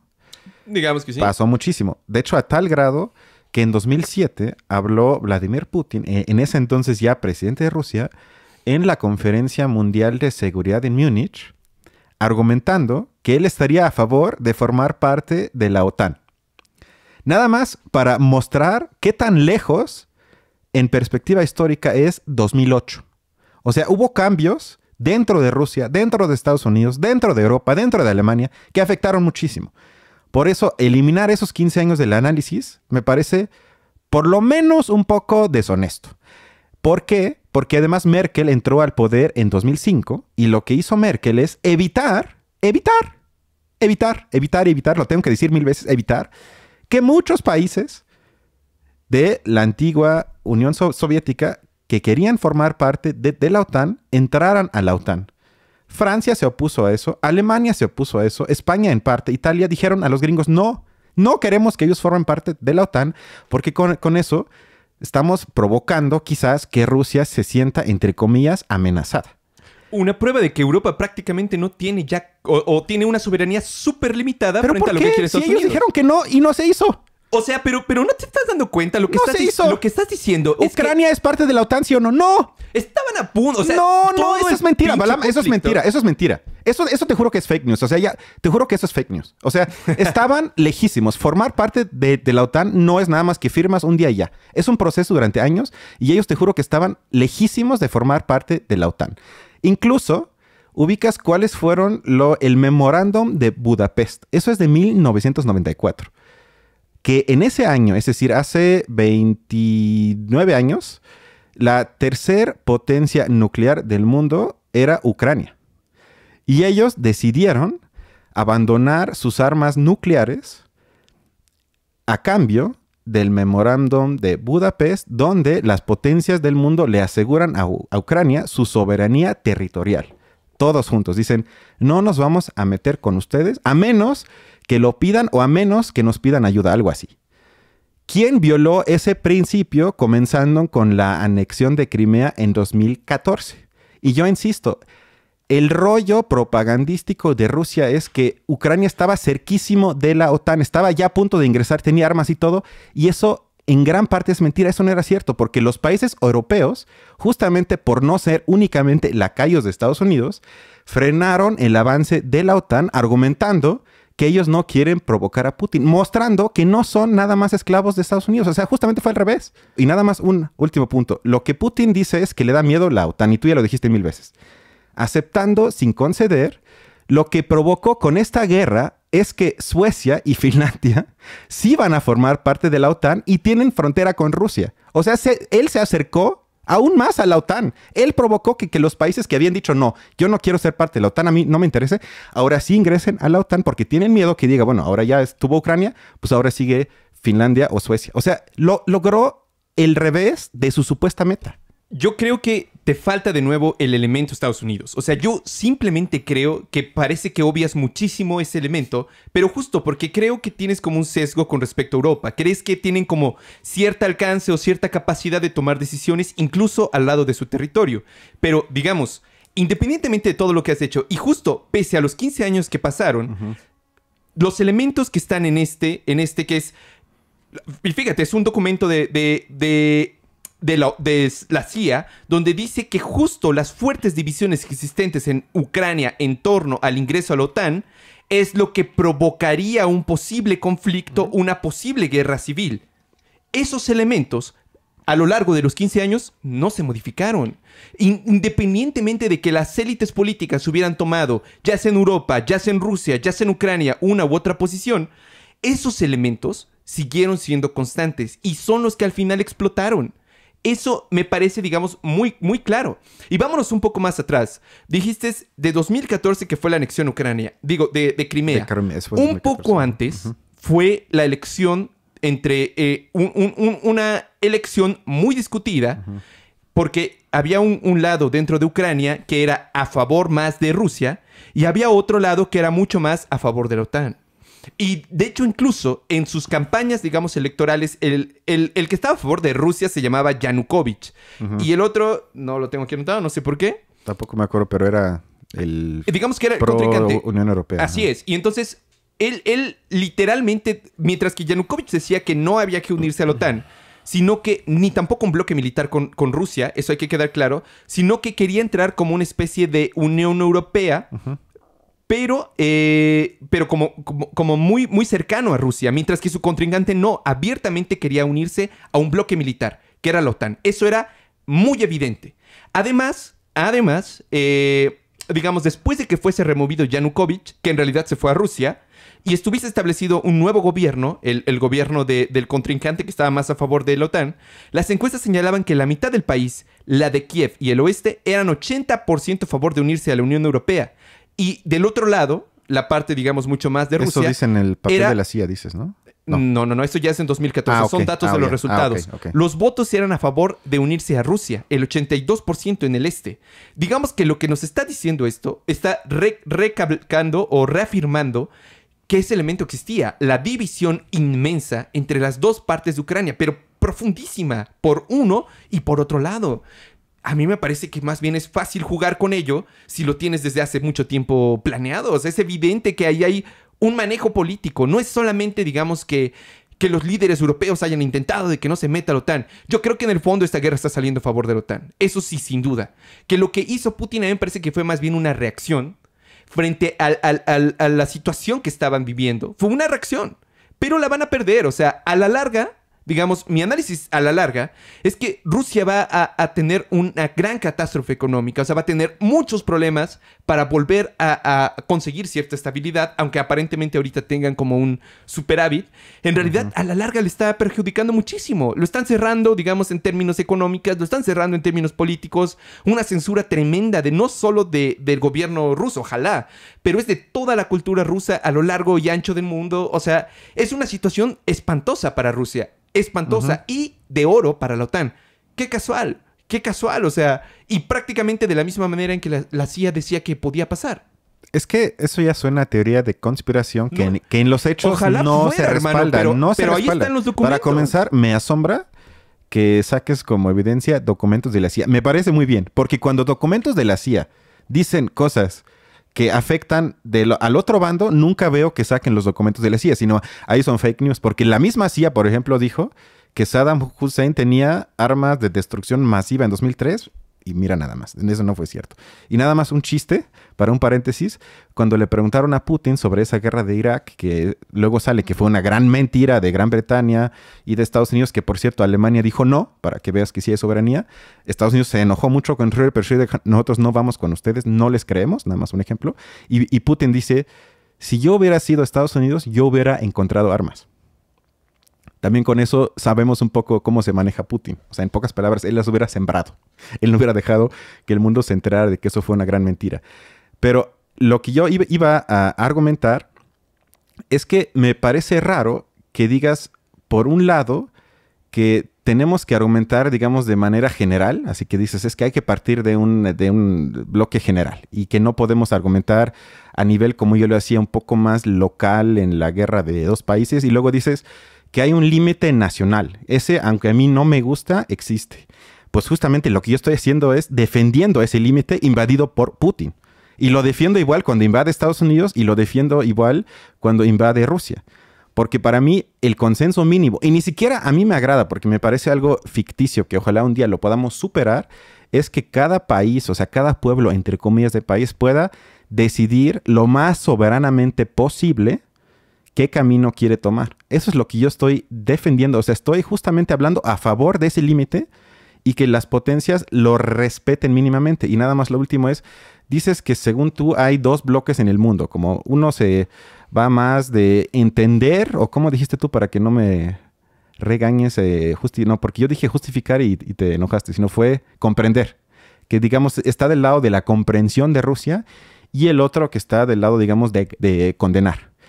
Y yo creo que otra vez que está simplificando. O sea, por ejemplo, el papel de China es muy interesante y muy complicado, porque no ha condenado, pero tampoco ha mo- mostrado como mucha comprensión, sino está en ese punto medio. Quizás se puede decir un poco más cercano a Rusia, pero tampoco apoyando al 100. No han mandado muchas armas y han dicho que ellos estarían a favor de la paz y tampoco lo hacen porque sean buenos y malos, sino simplemente no les conviene a su propio crecimiento industrial que sus dos países, eh, que sus dos socios más grandes en cuestiones comerciales estén en guerra. O sea, ellos están en medio. Y luego hay muchos países donde también entra, yo creo que México, Brasil, entre otros, India, como mediadores para un posible acuerdo de paz. O sea, que, que no condenan de antemano un lado u otro. O sea, yo creo que es mucho más complicado que hablar, entre comillas, nada más de dos bandos. O sea, creo que estás, creo que, creando un escenario que quieres combatir por un lado, pero que por el otro lo vuelves a abrir. O sea, porque yo lo que trato de hacer es complicarlo. Yo jamás diría que Estados Unidos no está metido. Bueno, O sea, yo no lo veo. O sea, hasta no la sé. propia OTAN dice que hay límites. Nosotros no queremos meternos ahí porque eso implicaría una guerra mundial abierta con todos los países. Sí, pues obviamente no lo van a hacer. Eh, eh, una guerra abierta. Según tú, tienen sed bélica, tienen sed de venganza, sed de acabar con Pero Rusia, no todo pueden, eso. pero no pueden tocarla directamente, porque si lo intentan, digamos, basta con que se lance la primera ojiva nuclear para que todo valga madres y no van a llegar a ese nivel. Pero entre ese punto y el otro hay una gran serie de, de- de grados. Hay digamos, muchas de armas antes de y una están arma jugando con ello. nuclear. Por ejemplo, en 2019 se filtró un informe del think tank más importante del Pentágono, la corporación RAND, Ajá. donde señalan 2019 que es la hora de avanzar en la intensificación de las sanciones con el fin de desangrar la política y económicamente a Rusia. Recomendaban literalmente, y cito, instalar armamento letal en Ucrania. La pregunta, ¿por qué Rusia debería aceptar armas de tal capacidad en sus fronteras si Estados Unidos no lo aceptaría jamás? Acabamos de verlo, la crisis de los misiles.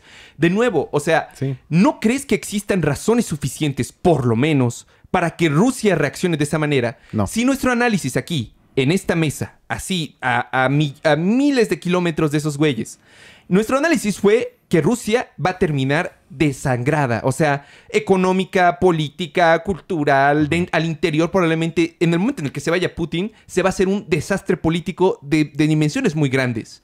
Quizás incluso el riesgo de balcanización esté presente. De ahí viene lo que decías. A China no le conviene eso. Más allá de que porque necesita estabilidad económica, que eso es muy cierto, si Estados Unidos toma a Rusia, prácticamente tendrá al enemigo detrás. O sea, ¿Por qué van a tomar China Rusia? va...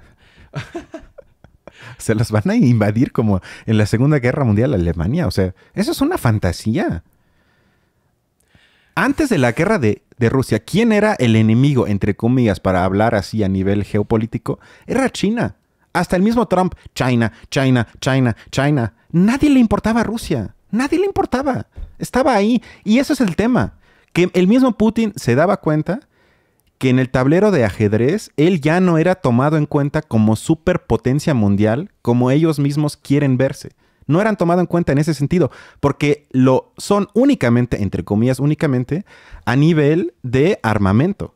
Si hablamos de importancia económica, tiene la misma que Italia, Rusia. No es nadie. Importa porque tiene el arsenal nuclear más importante del mundo junto con los gringos. Nada más por eso.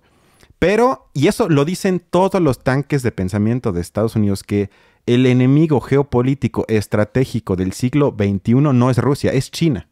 Estoy de acuerdo. Es China. Es lo que, lo que acabo es de China. decirte. Por eso estaba todo apuntado hacia China y no hacia Rusia. No había un plan de Estados Unidos de invadir a Rusia, de acabar con ellos. No había nada de eso. Pero, pero, ¿y entonces cómo explicas los documentos de la CIA? O sea, ¿cómo explicas los documentos Crean de los escenarios, crean escenarios. Pues claro que hay escenarios y claro que hay una parte de Estados Unidos que tiene enemistad pendeja ideológica con Rusia. Pues pon tú que sea eso, pero a- para mí la pregunta fundamental es ¿por qué entablar una, Rus- una guerra con Rusia ahorita? Es lo único que no entiendo. O sea, ¿cuál es el punto? Porque Putin invade a Ucrania y eso no se puede en el siglo XXI, perdón. De nuevo, ¿y por qué lo invade si no es por una cuestión que acabamos de analizar? Es- esa es una buena. Es- eh, ahí haces una buena pregunta. Esa es una buena Es la pregunta. de Por fin nuevo. haces una buena pregunta. tu hipótesis es que lo hace en un acto de autodefensa. ¿Estás de acuerdo? Esa es tu hipótesis. Yo creo que sí. Ok. Vamos a hacer un ejercicio de imaginación que no es eso. Vamos a abrir otra posibilidad. Vamos a decir que no lo hace, o quizás no únicamente por eso, sino que es una cuestión ideológica de forma de ver al mundo que por eso necesita o se quiere expandir. Y te lo digo porque, como te lo he dicho, o sea, yo tomo en serio lo que él dice en su rollo. O sea, él cuando habla dos horas enfrente de la tele pública de, de Rusia, él no lo justifica principalmente con la OTAN, sino él dice, por ejemplo, él dice, Ucrania ni siquiera es un país real, es un invento de Lenin, que es un invento que realmente la gente de Ucrania es parte de Rusia. O sea, él niega que Ucrania tenga una existencia legítima. Eso nada más es un punto. O sea, él tiene una forma de... Y yo no condeno automáticamente esa forma de ver al mundo que digo, que nada más porque dice eso es Sauron. Pero me refiero, si uno toma en serio al filósofo de casa, que es Dugin, a él en sus rollos que echa una o dos veces al año, él tiene claramente una forma de ver al mundo anhelando el pasado zarista de Rusia, en el cual, previo a la revolución rusa, Rusia era un país monárquico con influencia en el mundo al que él de alguna forma modernizado quiere regresar.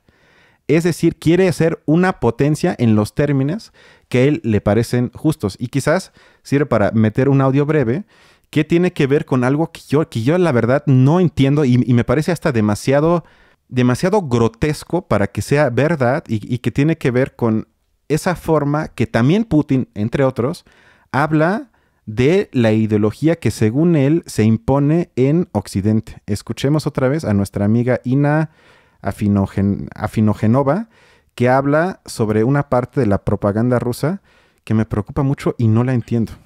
Rusia acaba de prohibir por completo lo que denomina propaganda de relaciones sexuales no tradicionales y lo que abrevia como propaganda LGBT. La ley para la prohibición de la difusión de materiales que promueven relaciones o preferencias sexuales no tradicionales fue aprobada primero por el Parlamento, luego firmada por el presidente y se creó, según sus ideólogos, para proteger a las futuras generaciones de la oscuridad que siembran Estados Unidos y los países europeos.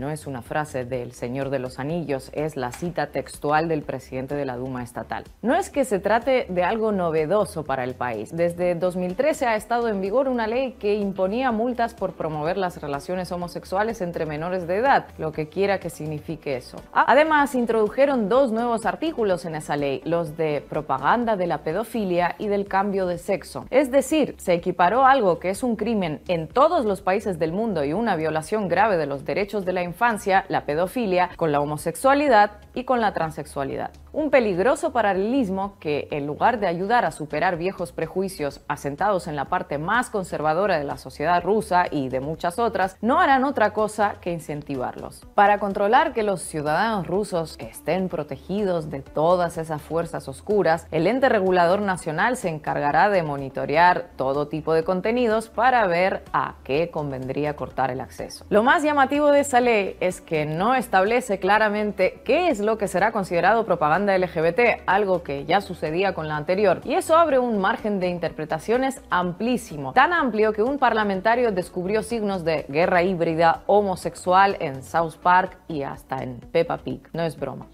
Hace unos años, cuando se puso en práctica la primera ley, se dijo que era una forma de incentivar la natalidad en un país con graves problemas demográficos. Teniendo en cuenta que esta decisión la toma el mismo gobierno que envía al frente a miles de jóvenes en edad fértil, resulta complicado comprender la lógica de todo esto. Bueno, esto me parece tan trágico que casi me da risa. O sea, y con esto también se explica la simpatía de políticos neoconservadores dentro de Estados Unidos con por lo menos la ideología del régimen de Putin. Porque en el fondo es una lucha, y eso es mi contestación, o por lo menos mi hipótesis, que una parte importante es que es una lucha contra el liberalismo, o si quieres, contra la democracia liberal, de la cual yo también soy muy crítico antes de que me ataques. O sea, también tiene muchas fallas y cosas que no me gustan, y lo hemos hablado aquí. Y contra ese progresismo cultural que si bien, en, eh, también insisto, en este espacio lo hemos criticado mucho, pero no porque esté mal, sino porque lo consideramos, o por lo menos yo lo veo así, insuficiente. Pero hasta esos pequeños avances para grupos minoritarios son vistos como perversos y hasta peligrosos por parte del régimen de Putin. Eso yo no lo entiendo. O sea, ¿cómo, ¿cómo explicas esa necesidad de prohibir esas cosas por ley? Y Putin en su último discurso dijo que en Occidente la pedofilia es norma. Te lo pregunto, te juro que en buena onda. O sea, digo, ¿cómo, cómo leer esto? Porque yo digo, ¿por qué? A mí me parece, sinceramente, que si únicamente consideramos como móvil o causa de una invasión como esta de Rusia Ucrania una cuestión ideológica, digamos que en el fondo es una cuestión ideológica, nos arriesgamos entonces a caer en una interpretación, eh, más bien a no hacerle caso a una interpretación materialista de la situación. Nos arriesgamos a caer en la, en la visión propagandística que intenta convencernos que esta es una lucha entre dos civilizaciones o dos modelos de civilización. La sociología comprensiva nos dice que, por una parte, tenemos que ver qué es lo que dicen las personas de sus acciones, que es la parte que tú acabas de poner, y otra, analizar las motivaciones estructurales que puedan hacer que los sujetos en esas relaciones dadas específicas actúen de una u otra manera. De nuevo, si existía este conflicto tan grave de, la, de la globalización, este conflicto ideológico tan cabrón entre de, una sociedad oriental rusa eh, eh, reaccionando frente a la libertad, digamos, como occidental o, esta, esta, cuestión como mucho más, digamos que si se queda en el nivel ideológico únicamente, ¿cómo se explica el incremento de la estabilidad en las relaciones económicas y políticas entre Rusia y Europa en general? De nuevo, no se puede explicar únicamente partiendo de posturas ideológicas si existió un monstruo en Putin, de nuevo, existía desde, desde muchísimo antes y no lo vio nadie por 20 años. Esos son cuentos, perdón, eso es pura propaganda. No, tiene que ver con eso. Históricamente hay muchos ejemplos. Pero uno debe analizar cuáles son las motivaciones estructurales para un sujeto o un, actor político actuar de una manera y los otros de otra. Y de nuevo, si, si son 20 años, por ejemplo, en los que Putin está al frente y durante esos 20 años había relativa estabilidad hasta la última parte, significa que en el fondo estaban funcionando bien no Putin y Merkel que se llevaran bien, sino que empezaba a crearse como una cierta especie de simbiosis entre unas economías y otras. Por ejemplo, mencionabas el caso del Telecán que tanto tú como yo sabemos que ahí hay muchísimos problemas que yo, yo estaría de acuerdo contigo. Pero no podemos evitar, digamos, independientemente del juicio que hagamos de ello, es un hecho incontestable que la economía mexicana está prácticamente integrada al estadounidense. No hay más, ¿no? Y, eso, y esa estabilidad no se pudo conseguir si no hubiera sido por acuerdo de las élites. Que, que, ese consenso en el punto del Telecán no fuera popular o no fuera democrático, no le importó en absoluto a Estados Unidos. El punto era tener la integración económica de las dos naciones. Lo mismo con Europa y Rusia. Si aumenta la integración entre los dos, no es porque exista un desacuerdo o, distintas visiones ideológicas. No, o sea, en el fondo lo que se está moviendo son motivaciones estructurales. Las economías empezaban a, a integrar cada vez más fuerte. La pregunta entonces es ¿por qué cambió? ¿Qué fue lo que se movió en ese punto? ¿Qué fue lo que, lo que rompió? Y a partir de qué momento empezamos ya a, personificar a, Putin como el malo, como la amenaza, y a, Europa y a Estados Unidos como los paladines de la democracia. O sea, de nuevo, yo creo que ahí está la pregunta y no se queda contestada con una, con una respuesta ideológica. El punto es hacer un análisis materialista. Y, y yo creo que eso no te lo da otra visión si no es esa. O sea, de analizar cuáles son las condiciones reales. Yo lo único que no me explico es por qué Estados Unidos veía en Rusia una amenaza. O sea, si tú mismo lo acabas de decir, no es así o no pareciera ser así. ¿Cuándo dijeron que vieron una que veían una amenaza en Rusia? En 2008. Desde- desde- o sea, desde, desde mucho antes están diciendo que es una amenaza. También lo dicen de Venezuela, también lo dijeron de Obrador. O sea, eso lo podemos generalizar con muchos países del mundo donde dicen, eso potencialmente no conviene a nuestro interés. Eh, ¿Y, lo, ¿Y qué es lo siguiente que vemos? Ah, bueno, en el caso, por ejemplo, de Libia. Gaddafi es una amenaza. ¡Pam! Asesinato, se, se muere, empieza a haber un desorden en Libia, empiezan los incrementos de migraciones y ahora los obreros ya no saben por qué van para allá si ellos fueron los que provocaron Estoy esa completamente crisis. de acuerdo. Luego, la cuestión de Hussein, lo mismo, es una amenaza. Van para allá, lo matan, destruyen, crean eso. Pu- Putin es una amenaza. O sea, a ver, na- nada más quiero que quede grabado. Tu pronóstico es que Estados Unidos va a hacer un intento de invasión a Rusia. A ver, creo que eso ya lo habíamos dejado claro. Hay un límite específico dentro de lo que puedes y no puedes hacer simplemente por el hecho de que Rusia tiene capacidad nuclear. Y que no, digamos, es un país tercermundista. Eso cambia muchísimo la lógica. Pero que existe una forma o un intento de hacer la guerra, yo creo que es más Ni que siquiera han invadido a Venezuela. y no digo que estoy a favor, obviamente no, pero ni siquiera han invadido a ese país. Ya parece que se van a ir a Rusia, aunque no tuviera armas que ponen en peligro a, a todo el mundo prácticamente. Pero O sea, fíjate, el caso de Venezuela es, es- me parece que es icónico para demostrar cómo esto es, en, en- en, digamos, no es ni de lejos una cuestión ideológica. O sea, esto no, no tiene nada que ver con una cuestión ideológica. No es que Putin sea malo, o que los valores, o, o- o cuánta democracia hay allá, o cuánta censura. Eso es, creo yo, lo que menos importa para el análisis. Porque Venezuela le está vendiendo petróleo a Estados Unidos de nuevo. Bueno, Porque les están comprando de nuevo. Porque ya son sus aliados de nuevo. sí, claro, esos son... Porque las condiciones estructurales crean motivaciones para que los actores interactúen de una manera específica. Bueno, el caso de Venezuela es paradigmático en ese sentido. Entonces el problema con Rusia tampoco es ideológico. No es que...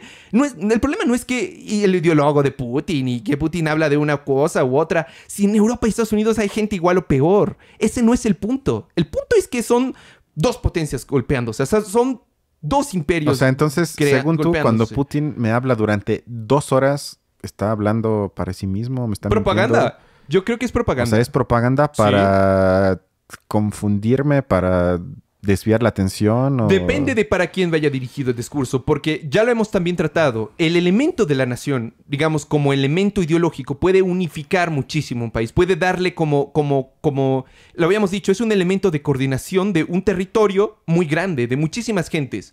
Todas las naciones que están en guerra buscan promover el nacionalismo en esos momentos, porque es necesaria la unidad de sus acciones. Frente al resto del mundo, probablemente tratar de, de generar un, o, o- o repeler o pelear en, ese, en esa lucha comunicacional, pero que las tiene de perder, o sea, prácticamente tiene el mundo entero digital Es en su que contra. yo, para comenzar, estoy más con Marx que nunca separaría lo material de ideología, sino eso siempre va de la mano, no hay uno sin lo otro. Eso sería el, primer punto. Y lo segundo sería que bajo esa lógica no podríamos explicar, por ejemplo, y no estoy argumentando que sea lo mismo, porque eso también es una estupidez que Putin es el nuevo Hitler. O sea, yo no diría eso, pero nada más como ejercicio de hechos históricos, el mismo Hitler, cuando llega al poder, el análisis de las potencias extranjeras hacia él era, es puro rollo. Es puro rollo. Ese güey nada más busca la integración, quiere más lana, quiere otros tratados de comerciales y todo. Y a la mera hora, lo ideológico no era tan poco importante, sino lo suficientemente importante que mandara todo el carajo y quisiera conquistar pues prácticamente a todo el mundo, o por lo menos una parte del mundo. Pero existían motivaciones estructurales previas al ejercicio de la ideología. Es decir, una ideología, un, un mensaje no tiene eco si, el, eh, si quien recibe el mensaje no está dispuesto a escucharlo. ¿Qué condiciones estructurales te imaginas tú que se crearon en ese momento para que un mensaje ideológico de ese tamaño pudiera tener cabida en los oídos de tanta gente? ¿Qué condiciones históricas te recuerdas tú que había? Perdón. O sea, yo creo que... Pero, a ver, eso no tiene que ver con la idea de convertir a tu economía en un aparato bélico para invadir a otros países. Eso no tiene nada que ver. Eso tal vez explica que ganes en las urnas con un mensaje nacionalista a favor de los trabajadores, etcétera. Pero eso no tiene nada que ver. Incluso al revés, se podría ver al revés. Uno podría decir, como el régimen de Putin está en decadencia absoluta y no ha llegado a absolutamente nada, se ve en la necesidad, similar a Hitler, decir, mi única salvación es invadir para a través de eso unificar, dar rollos como el que yo te digo, pero al parecer oír a él no tiene caso, de hablar del, enemigo, de Occidente, de lo perverso, de pedofilia, de todo ese rollo, para, porque es su única forma de crear cierta cohesión interna y evitar que ganen otras fuerzas políticas, aparte de toda la opresión interna, que no hay nada de libertades. Realmente es más bien Europa la que está provocando eso. O sea, el- el- ¿por qué Europa también está Europa hablando de él de esa provoca, manera? Europa provoca la opresión interna en Rusia. Ah, caray. Ah, caray. Una de las primeras conclusiones que dije cuando hablamos de la, de la cuestión de comunicación, de cómo tratan los medios de comunicación las noticias, ¿qué fue no lo que hay pasó? los medios de comunicación. ¿Cómo no? No hay eso. Estás Bueno. generalizando. Es el lenguaje de Putin. El occidente, el oriente. Hablas en bloques, eso no existe. Yo no estoy hablando La de bloques, OTAN. hablo de los medios de comunicación. No en hay lo los medios de comunicación. Es que no hay eso. Tienes que ser específico. Ok, los principales medios de comunicación. Tampoco tanto- hay eso. Te ¿Cómo voy a dar el- en, en Estados Unidos está Fox News y el New York Times. Medios de comunicación principales, nada que ver. Se odian unos a los otros. Dicen lo contrario. Ah, ¿Te refieres a cuál?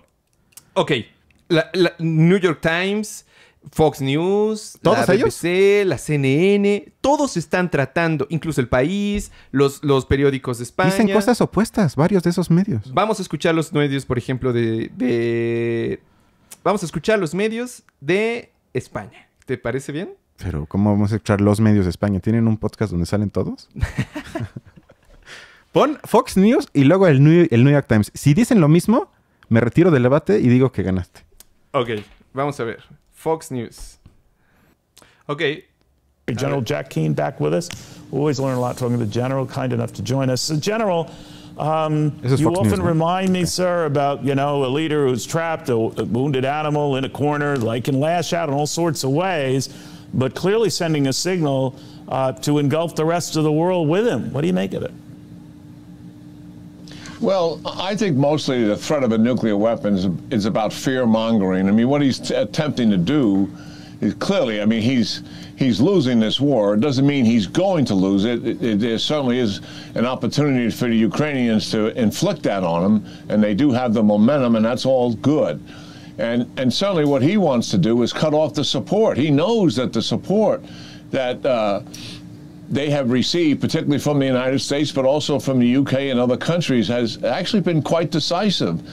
Bueno, nada más en ese punto acabamos de oír que Putin es un animal herido, que eh, eh, él Un loco, digamos, prácticamente, sí. Prácticamente. Y ahora vamos a ver The New York Times. A ver. Ah, pero este, o sea, The New York Times eh, en video. No hay, no hay, es que tampoco sé. Supongo que tienen podcast, pero tampoco tendría sé. que ser más bien como. ah, Pero Balam, o sea, Fox News era abiertamente trompista, es un medio amarillista horrible que se montan de campañas horribles y el New York Times con todas sus fallas es un medio que trata de ser más o menos serio y se ubica del lado, entre comillas, progresista opuesto a Fox News. O sea, ¿a poco vas a negar eso? Digo, eso, eso es sentido común. Fíjate, si, yo, si se busca en, en The New York- Times, en. Este está en español, pero, pero en inglés debe ser todavía mucho más impresionante. Pero, pero fíjate, las noticias, los tipos de noticias ¿Cuál que hay. fue tu búsqueda? Tienes que decir eso. ¿Qué es lo que... Vladimir? Putin en. The New- New York Times. Primera noticia. Pasaporte para salir de Rusia. Da, vete a Argentina. Eh, siguiente. eh, las masas se juntan eh, para llorar a Da Vinci, un joven soldado ucraniano asesinado por las tropas de Putin. Siguiente noticia. Un pasaporte literal para salir de Rusia. Ve a dar luz en Argentina. Se repite esa noticia. Georgia protesta contra las políticas que quieren regresar al estilo ruso de, de gobernar. Siguiente noticia. eh, bueno, a- algo sobre las, las líneas de sabotaje de, de las de pipelines. Ah, de- sea, que sí. dice que inteligencia sugiere que un grupo pro-ucraniano fue el que saboteó a los, Mm. los, lo- Eso dicen los Estados Unidos. No, por eso te digo.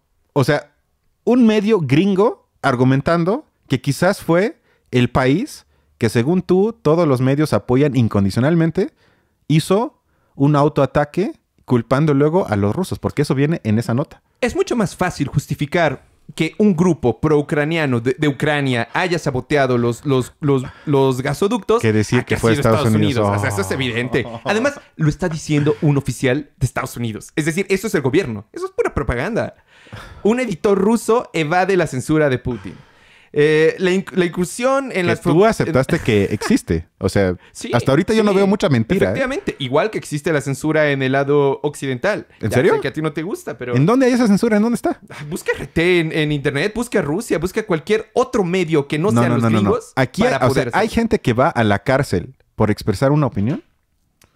No. Creo que esa, esa parte la tratamos en un principio. No es necesario. O sea, no, es decir, no, no, no, no, no, no. El, recurso de la violencia es el último recurso cuando los demás medios para, para ejercer tu control eh, hegemónico en un cierto territorio se han agotado. Estados Unidos no tiene ese problema. Sabe que su poder, su estabilidad...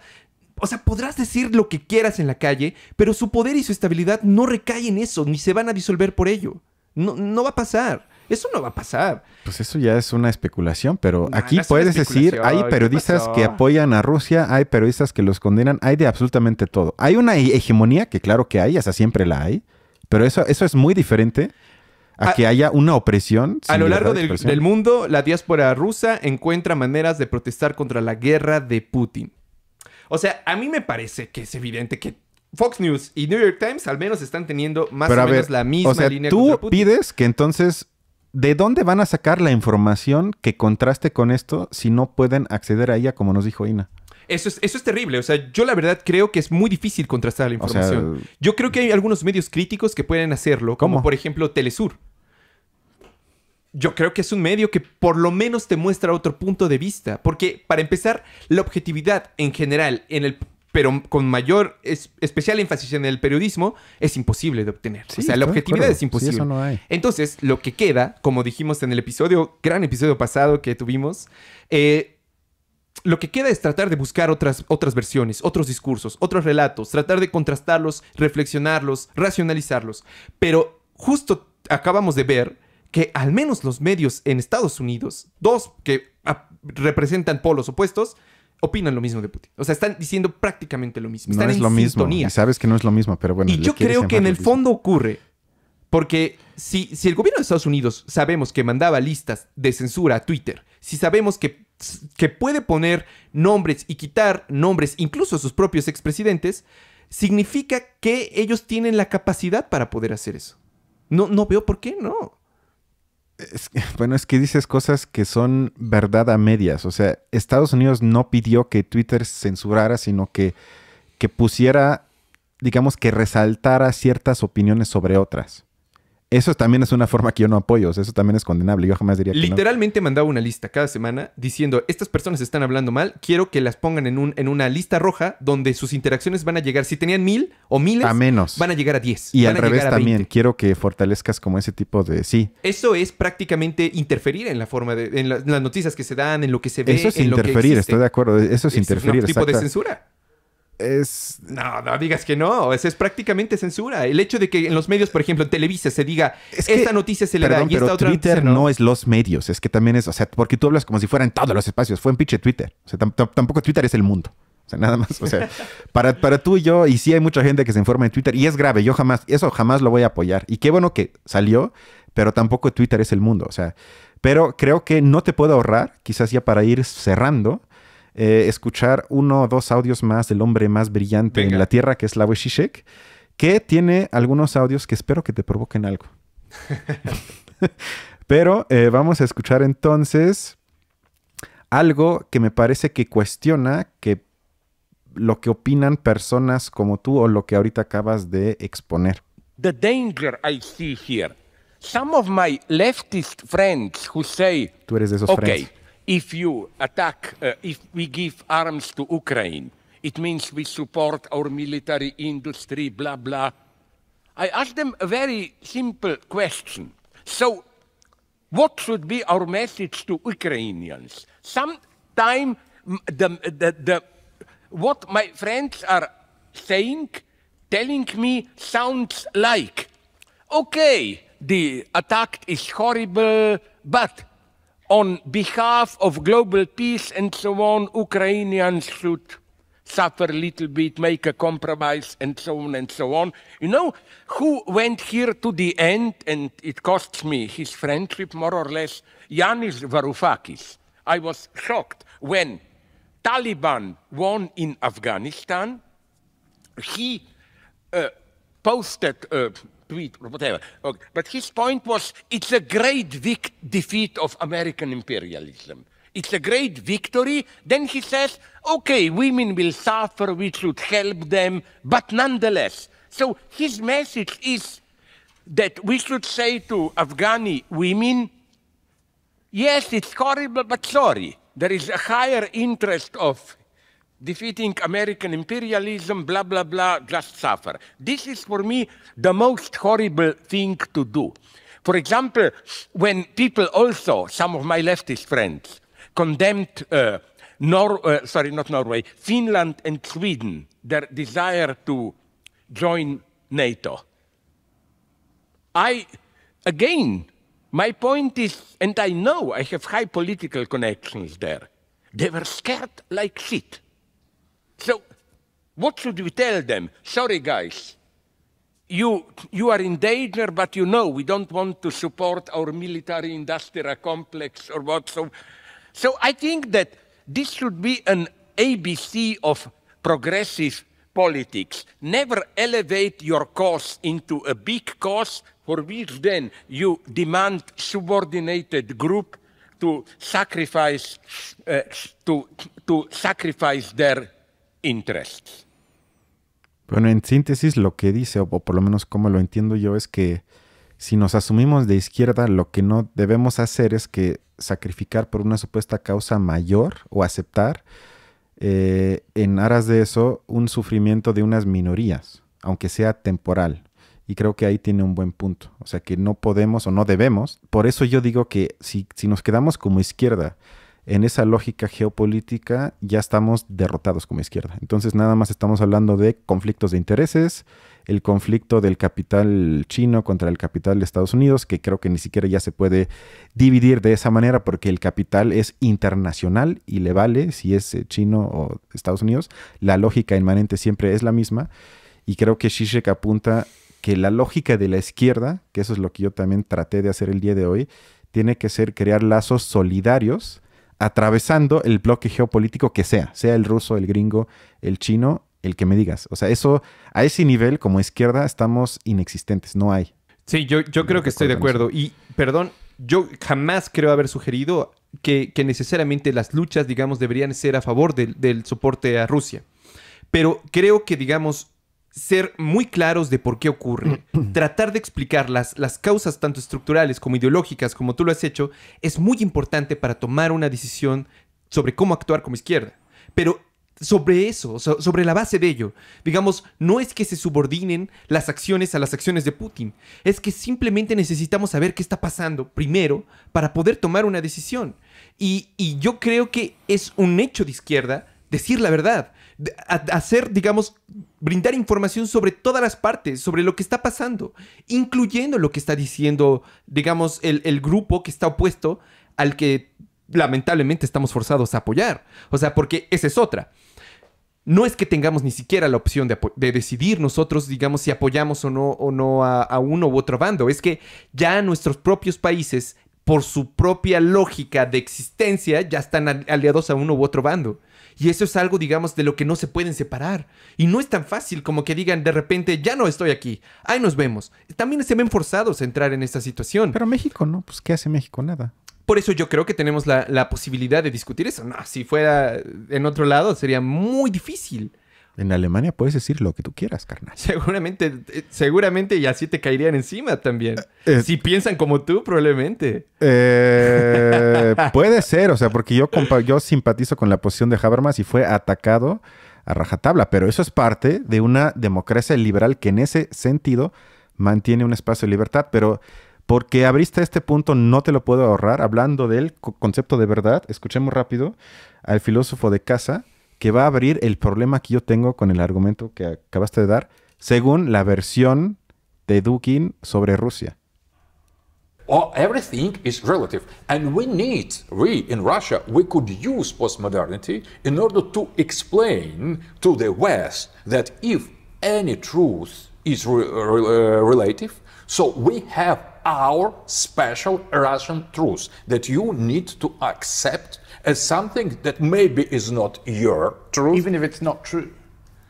But if the truth is relative, it, that doesn't mean that the truth doesn't exist. That means that absolute truth, one for all, uh, doesn't exist. Let's take an example. If Va otro audio Me- so- me parece ese bueno. sobre esto.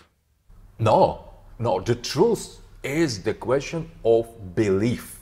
And postmodernity shows that every so called truth is the matter of believing. So we believe in what we do, we believe in uh, what we say, and that is the only way to define the truth. O sea, lo que él dice es que hay que relativizar el concepto de verdad, es decir, hacer dependiente el nombre del, ob- del objeto de acuerdo a la posición del sujeto y con eso abre obviamente la puerta al relativismo absoluto, que entonces convierte cualquier tipo de intento de explicar o de llegar lo más cercano posible a lo que es verdad ad absurdo, porque ya no puede haber. Y luego al final dice, la verdad es cuestión de creencia. Si yo creo en la verdad, entonces es verdad. Y además divide que hay una verdad rusa y una verdad de la gente que no somos de Rusia. Y ese es el mundo que ellos plantean. Ese es el mundo que quiere en parte China, pero que plantea para el mundo que, quiere exportar a través de RT, entre otros brazos de propaganda absoluta, al mundo. Y perdón, yo no quiero ser parte de ese mundo. Ellos plantean ese mundo. No hay una verdad ni gringa ni eh, rusa. Hay una verdad universal. Porque yo soy universalista. No puedo caer en ese tipo de cosas. Por eso yo creo que ideológicamente sí hay una parte fuerte ahí. Mira, a mí me parece que este miedo que tú estás, digamos, poniendo sobre, sobre la mesa es en gran medida irreal. O sea, yo creo que no es así. Y de nuevo me parece que roza la cuestión del choque de civilizaciones, de decir, yo no quiero vivir en un lugar donde no tenga libertad, donde no tenga democracia, pero como lo hemos comentado antes, a mí me parece que es un miedo prácticamente infundado y que no tiene ni la más mínima, digamos, como, como pizca de, de cuestión estructural. Yo creo que, digamos, la forma en que las, las sociedades actúan es muy, muy distinta las de Estados Unidos y Europa con respecto de las de Oriente. En Oriente, ah, digamos, por ser una civilización, eso sí yo creo, con un origen muy distinto, eh, tienen como un cierto sentido, por ejemplo, de la disciplina mucho más marcado. Y eso ha permitido que existan, digamos, los gobiernos en general dentro de Oriente, y, eso no lo digo yo, sino en general los estudios históricos sobre esas zonas, muestran cómo los gobiernos son no- normalmente más autoritarios que en el resto de, de- bueno, que en Europa, incluso que en América, ¿no? Considerando en la totalidad. Pero eso no quiere decir que ese modelo que funciona para allá se puede exportar como acríticamente, fácilmente a otras partes del mundo. Y mucho menos, digamos, en sociedades donde otro tipo de valoraciones sobre las cosas se han establecido. Donde existen, por ejemplo, un, un gran valor a los derechos humanos. La política que se hace en Estados Unidos, Europa y una muy buena parte de América Latina ya está prácticamente digamos, ronda mucho el discurso de los derechos humanos. Se pueden ocupar muy fácilmente incluso para golpear políticamente a otra persona. Digamos que en el sentido común de las personas que vivimos en esta parte del mundo, lo- los derechos humanos empiezan a tener como un valor casi sagrado. Incluso... ¿Y no te parece bueno eso? Yo, no estoy yo no estoy juzgando, lo que estoy diciendo es que si allá no pa- aparece así y, sus- un gobierno que no, que no quisiera respetar eso, entraría en una contradicción muy grave y fundamental con, la con el tipo de sociedad que existe. Habrían resistencias por todas partes. Sería un galimatías en todo sentido. No existe un riesgo real de que su forma de gobierno se exporte al nuestro, porque sencillamente su forma de gobierno, sus formas de, de- de desarrollar su autoridad y de organización política son resultado histórico de sus condiciones de existencia también. No se pueden importar abstractamente o idealmente las condiciones de un país a otro. Eso es un miedo irreal. En el fondo es propaganda. No existe ese miedo. Por- porque no existe, ni siquiera tiene la posibilidad de hacerlo. O sea, Está haciéndolo ya. pero, pero ¿sabes quién sí puede exportar bastante bien todo? Estados Unidos, por ejemplo, junto con las élites principales en, en- Europa, son las provocadoras de la gran desigualdad que se vive hoy en día en el mundo. Así de sencillo. Lo que mostró el premio Nobel eh, Thomas Piketty en, en- en su libro so- de- del capital del siglo XXI es que el modelo de producción en general que se sostenía en, las últimas décadas está fundamentalmente basado en la acumulación de riquezas. Y ese es un modelo propiciado por Estados Unidos y Europa. No hay ningún otro país o países responsables de esta, de esta situación que estamos viviendo. O en sea, el son las únicas partes del mundo donde hay capitalismo. No, pero son quienes generaron la forma en la que lo estamos viviendo. Porque la globalización no inició en China, la globalización no inició en la India. Quienes empezaron a propiciar estas políticas neoliberales tienen nombre y apellido. Y podemos ubicarlas en el tiempo, en el espacio, se pueden calcular los montos. Y fíjate, quienes niegan esto dicen que en las últimas décadas esa forma de modelo agregó, quitó de la pobreza a tantos millones. Sí, eso es ¿Qué cierto, caso- pero porque es China, porque entra China, sí, es lo estoy de de acuerdo. China. sí. O sea, pero, pero incluso, por ejemplo, hace poco me tocó ver como un, un- un- el presidente, me parece que de Burkina Faso, se entrevistó con, con Macron de Francia. Ah, sí, sí. y entonces lo que le dijo fue, no nos puedes decir que no podemos comerciar con China aunque no les guste a ustedes. O sea, no porque no tengan sus valores, quiere decir que yo no puedo venir a comerciar. Y es más, lo que le dijo fue, a diferencia de ustedes, ellos no vienen aquí a juzgarnos, no vienen aquí a decirnos cómo tenemos que hacer las cosas. A los chinos no les importa eso, les importa el comercio y todo lo demás. Si la gran mayoría de opinión de los países que están comerciando con China, que hoy en día es una quizás la mitad del mundo, dicen eso, es porque realmente no existe ese peligro detrás. Es porque quienes lo están promoviendo, desde mi punto de vista, son quienes lo están ejerciendo. Como, como dicen que le dijo Bruto a César, el único que tiene miedo de los asesinos de tiranos son los tiranos. No, bueno, o sea, esa también es una simplificación porque esto es, y de hecho creo que lo viste en Twitter o Telegram, es un video que se hizo famoso en todo el mundo de cómo el presidente de Burkina Faso regaña a Macron, pues sí, como por dos minutos casi casi lo termina insultando. Pero si uno analiza seriamente y no con un video en Twitter, el imperialismo que también ejerce China, que sería una forma de neocolonización, es diferente, claro que es diferente. Es menos injerencista, abierto, como lo era de los países de Europa y de Estados Unidos, sí. Pero no por eso necesariamente tiene que tener menos consecuencias negativas para la población que acepta ese tipo de injerencia de otro país. O sea, eso también hay debates muy grandes. Por ejemplo, la ruta de la seda construida por China, hay rep- reportajes buenísimos que ya analizan cómo afecta brutalmente a esos países atravesados por esa ruta de la seda. O sea, eso tampoco necesariamente es algo mejor. Es diferente. Pero lo diferente no automáticamente es mejor. Simplemente es diferente. Es diferente, pero, pero de nuevo, eso no quiere decir que sea exportable. O sea, yo creo que antes nos morimos en una guerra mundial que ver un tipo de gobierno chino al frente ¿Qué? de alguno de, de Europa o Estados Unidos. Eso sería una locura. Porque para empezar, si quisieran hacer algo así, tendrían que empezar a promover ideológicamente sus propios valores. Eso es lo que está haciendo Rusia. Eso justamente es lo que está haciendo. Y con eso, a ver, con esto ya mi última participación, porque si no. sí, porque si no es inmenso y ya- Ya, lo último comentario, último uno o dos minutos. Yo creo que exactamente ese es el punto, que para mí el horizonte que representa mi pesadilla mayor es ese que sí lo veo, pacto silencioso, a veces no tan silencioso, que existe entre algunos, algunas corrientes neoconservadoras occidentales de extrema derecha que existen en todos los países, en algunos tienen más fuerza que en otros, pero existen en todos. Y estos tienen una visión de un nuevo multiculturalismo de Estado soberano que se ejerce, para poner un ejemplo práctico, cuando los talibanes ganan en Afganistán, que eso tiene más o menos un año y medio, que los gringos ya se fueron, llegaron inmediatamente, bueno, inmediatamente a un pacto con China, con la condición de que China les dijo, ok, vamos a hacer un pacto que tiene como fundamento de que en tu tierra tú haces lo que tú quieras, yo no te voy a criticar nada, y viceversa tampoco. Lo cual implica entonces que ya no podemos hablar ni de nada universal y sobre todo se muere la idea de los derechos humanos universales. Porque estamos hablando de entonces un soberanismo que implica que cada régimen puede hacer y oprimir la población como se le dé la gana porque el pacto es que no nos vamos a meter. Y ese para mí es la pesadilla. Y a eso yo me refiero, que eso sí lo veo profundamente exportable, porque en todos los países del mundo hay corrientes en ese sentido, que tienen una nostalgia romantizada por un pasado de un pueblo más homogéneo, con más comunidad previo a la época neoliberal, donde fuera los extranjeros y vamos a crear aquí algo un poco más unido con nuestra historia. Pasa también en México, que es el año de Madero, el año de, de Villa o lo que sea. O sea, como que se trata de ensalzar una historia, obviamente ficticia, de una patria que nunca existió tal cual, para crear algo potencialmente fascista o por lo menos mucho más conservador.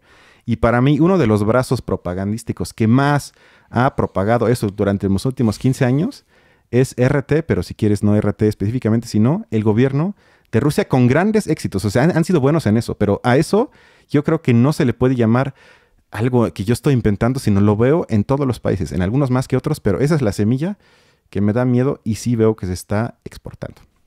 Bueno, yo no coincido contigo, creo que eso realmente es un miedo infundado, pero ya digamos como, como para ir terminando, a mí me gustaría, digamos, decir que una muy buena parte que, del soporte que tiene, Estado, digamos, Putin, tanto dentro de su población es explicado. Primero, porque, porque desde que llegó Putin, Rusia creció muchísimo.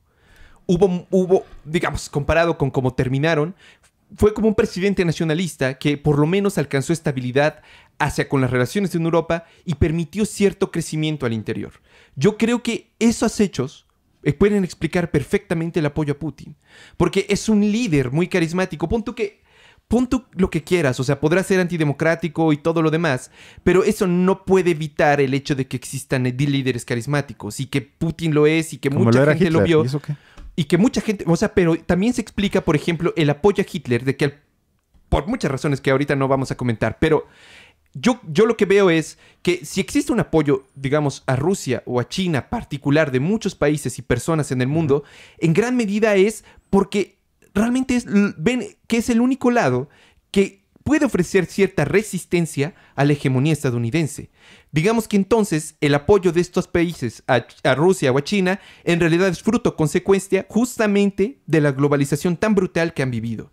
Y a mí me gustaría, digamos, decir cosas en las que estamos de acuerdo y que yo creo que, que- que en general es así. Es que Ucrania es la principal víctima de esto. O sea, las personas La ucranianas población de Ucrania. son las que están sufriendo más terriblemente, in- incluso más que la de Rusia, las consecuencias. Y la verdad es terrible, es, un- es una situación espantosa, muy triste. Y, y yo creo que si hay que tomar una posición política después de este análisis es a favor de, de- de Ucrania, sin duda. Hay varias formas de salida, hay varias propuestas de salida. Una, yo creo, de las más racionales es la que presentó Varoufakis con otras personas más, que ot- otra cosa que yo creo que estaríamos de acuerdo es que el nivel nuclear no debe ser alcanzado, ¿no? Y que bueno, eh, no sé, desde mi punto de vista la pregunta no es si, si acabará o no esta guerra, sino más bien cómo va a acabar, si con, una, con un acuerdo o, o, o qué otra cosa podría ser. No, tiene que ser acuerdo, o sea, no puede acabar de otra manera. Es muy Eh, probable que sea así. Hay un filósofo que leí que dice que las guerras mueren. Es decir, que la gente que las inicia hasta que muera es ahí donde una guerra de veras acaba. Pero si es así, No, pues. Zelensky es bastante joven, Putin también es más o menos, todavía le quedan 10, 15 años, eso sería un escenario triste. Podríamos, podríamos volver a, a mencionar los- las guerras que ha tenido Estados Unidos con varios países. No han acabado porque sus líderes hayan muerto. De ninguno de los dos lados. Eh, Vietnam, por ejemplo, no acabó con, el, con Ho Chi Minh muerto. Eh, la guerra en Corea tampoco acabó con, con el otro bando muerto. pero acabaron más o menos cuando cambiaron de presidente. O cuando los mataron, como en Libia, por ejemplo. No, yo hablo de Estados Unidos. Bueno, igual también hay presidentes que mataron. o, o en Siria, que Sí. prácticamente está, está invadida por Estados Unidos. O sea, Estados Unidos Y Rusia. tiene... Pero Estados Unidos tiene más territorio en Siria que, que Rusia en Siria y Ucrania juntos. O sea, Rus- Estados Unidos tiene una invasión espantosa en Siria y tiene bloqueada Siria además, o sea, económicamente, por lo que el terremoto les está afectando de una manera espantosa. Pero pues de eso casi no se habla. No sé. Eh, se habla en muchos medios de eso y jamás yo Evidentemente no eso. con, la, no con la fuerza que tiene la ahorita de no, al inicio sí, pero ahorita siempre hay un tema que Pero abarca bueno. más que otro. Sí, pero en eso estamos de acuerdo. O sea, Pues yo creo que, que ahí quedó. que muera el imperialismo. Que muera el Y por lo menos sí fue un debate. O sea, na- nadie podrá decir que esto fue darnos besos y abrazos, sino se intentó. Eso va después. Se intentó de contraponer algunos puntos y yo creo que pues algo aportamos. ¿no? Claro, y eso no, no nos enemista tampoco como, como personas, como amigos. No, no, exacto. Pero, sí, eso pero es también importante, también sí. tener la capacidad de, de poder debatir a veces así, Sí, complicado, con, con ganas, pero Y luego no pasa nada a nivel que somos amigos y ya. Pero Sale, bueno, pues. sin más, nos vemos la siguiente semana otra vez con una película. ¿Estamos de acuerdo? ya regresamos a las películas. Vale, cuídense mucho. Hasta luego.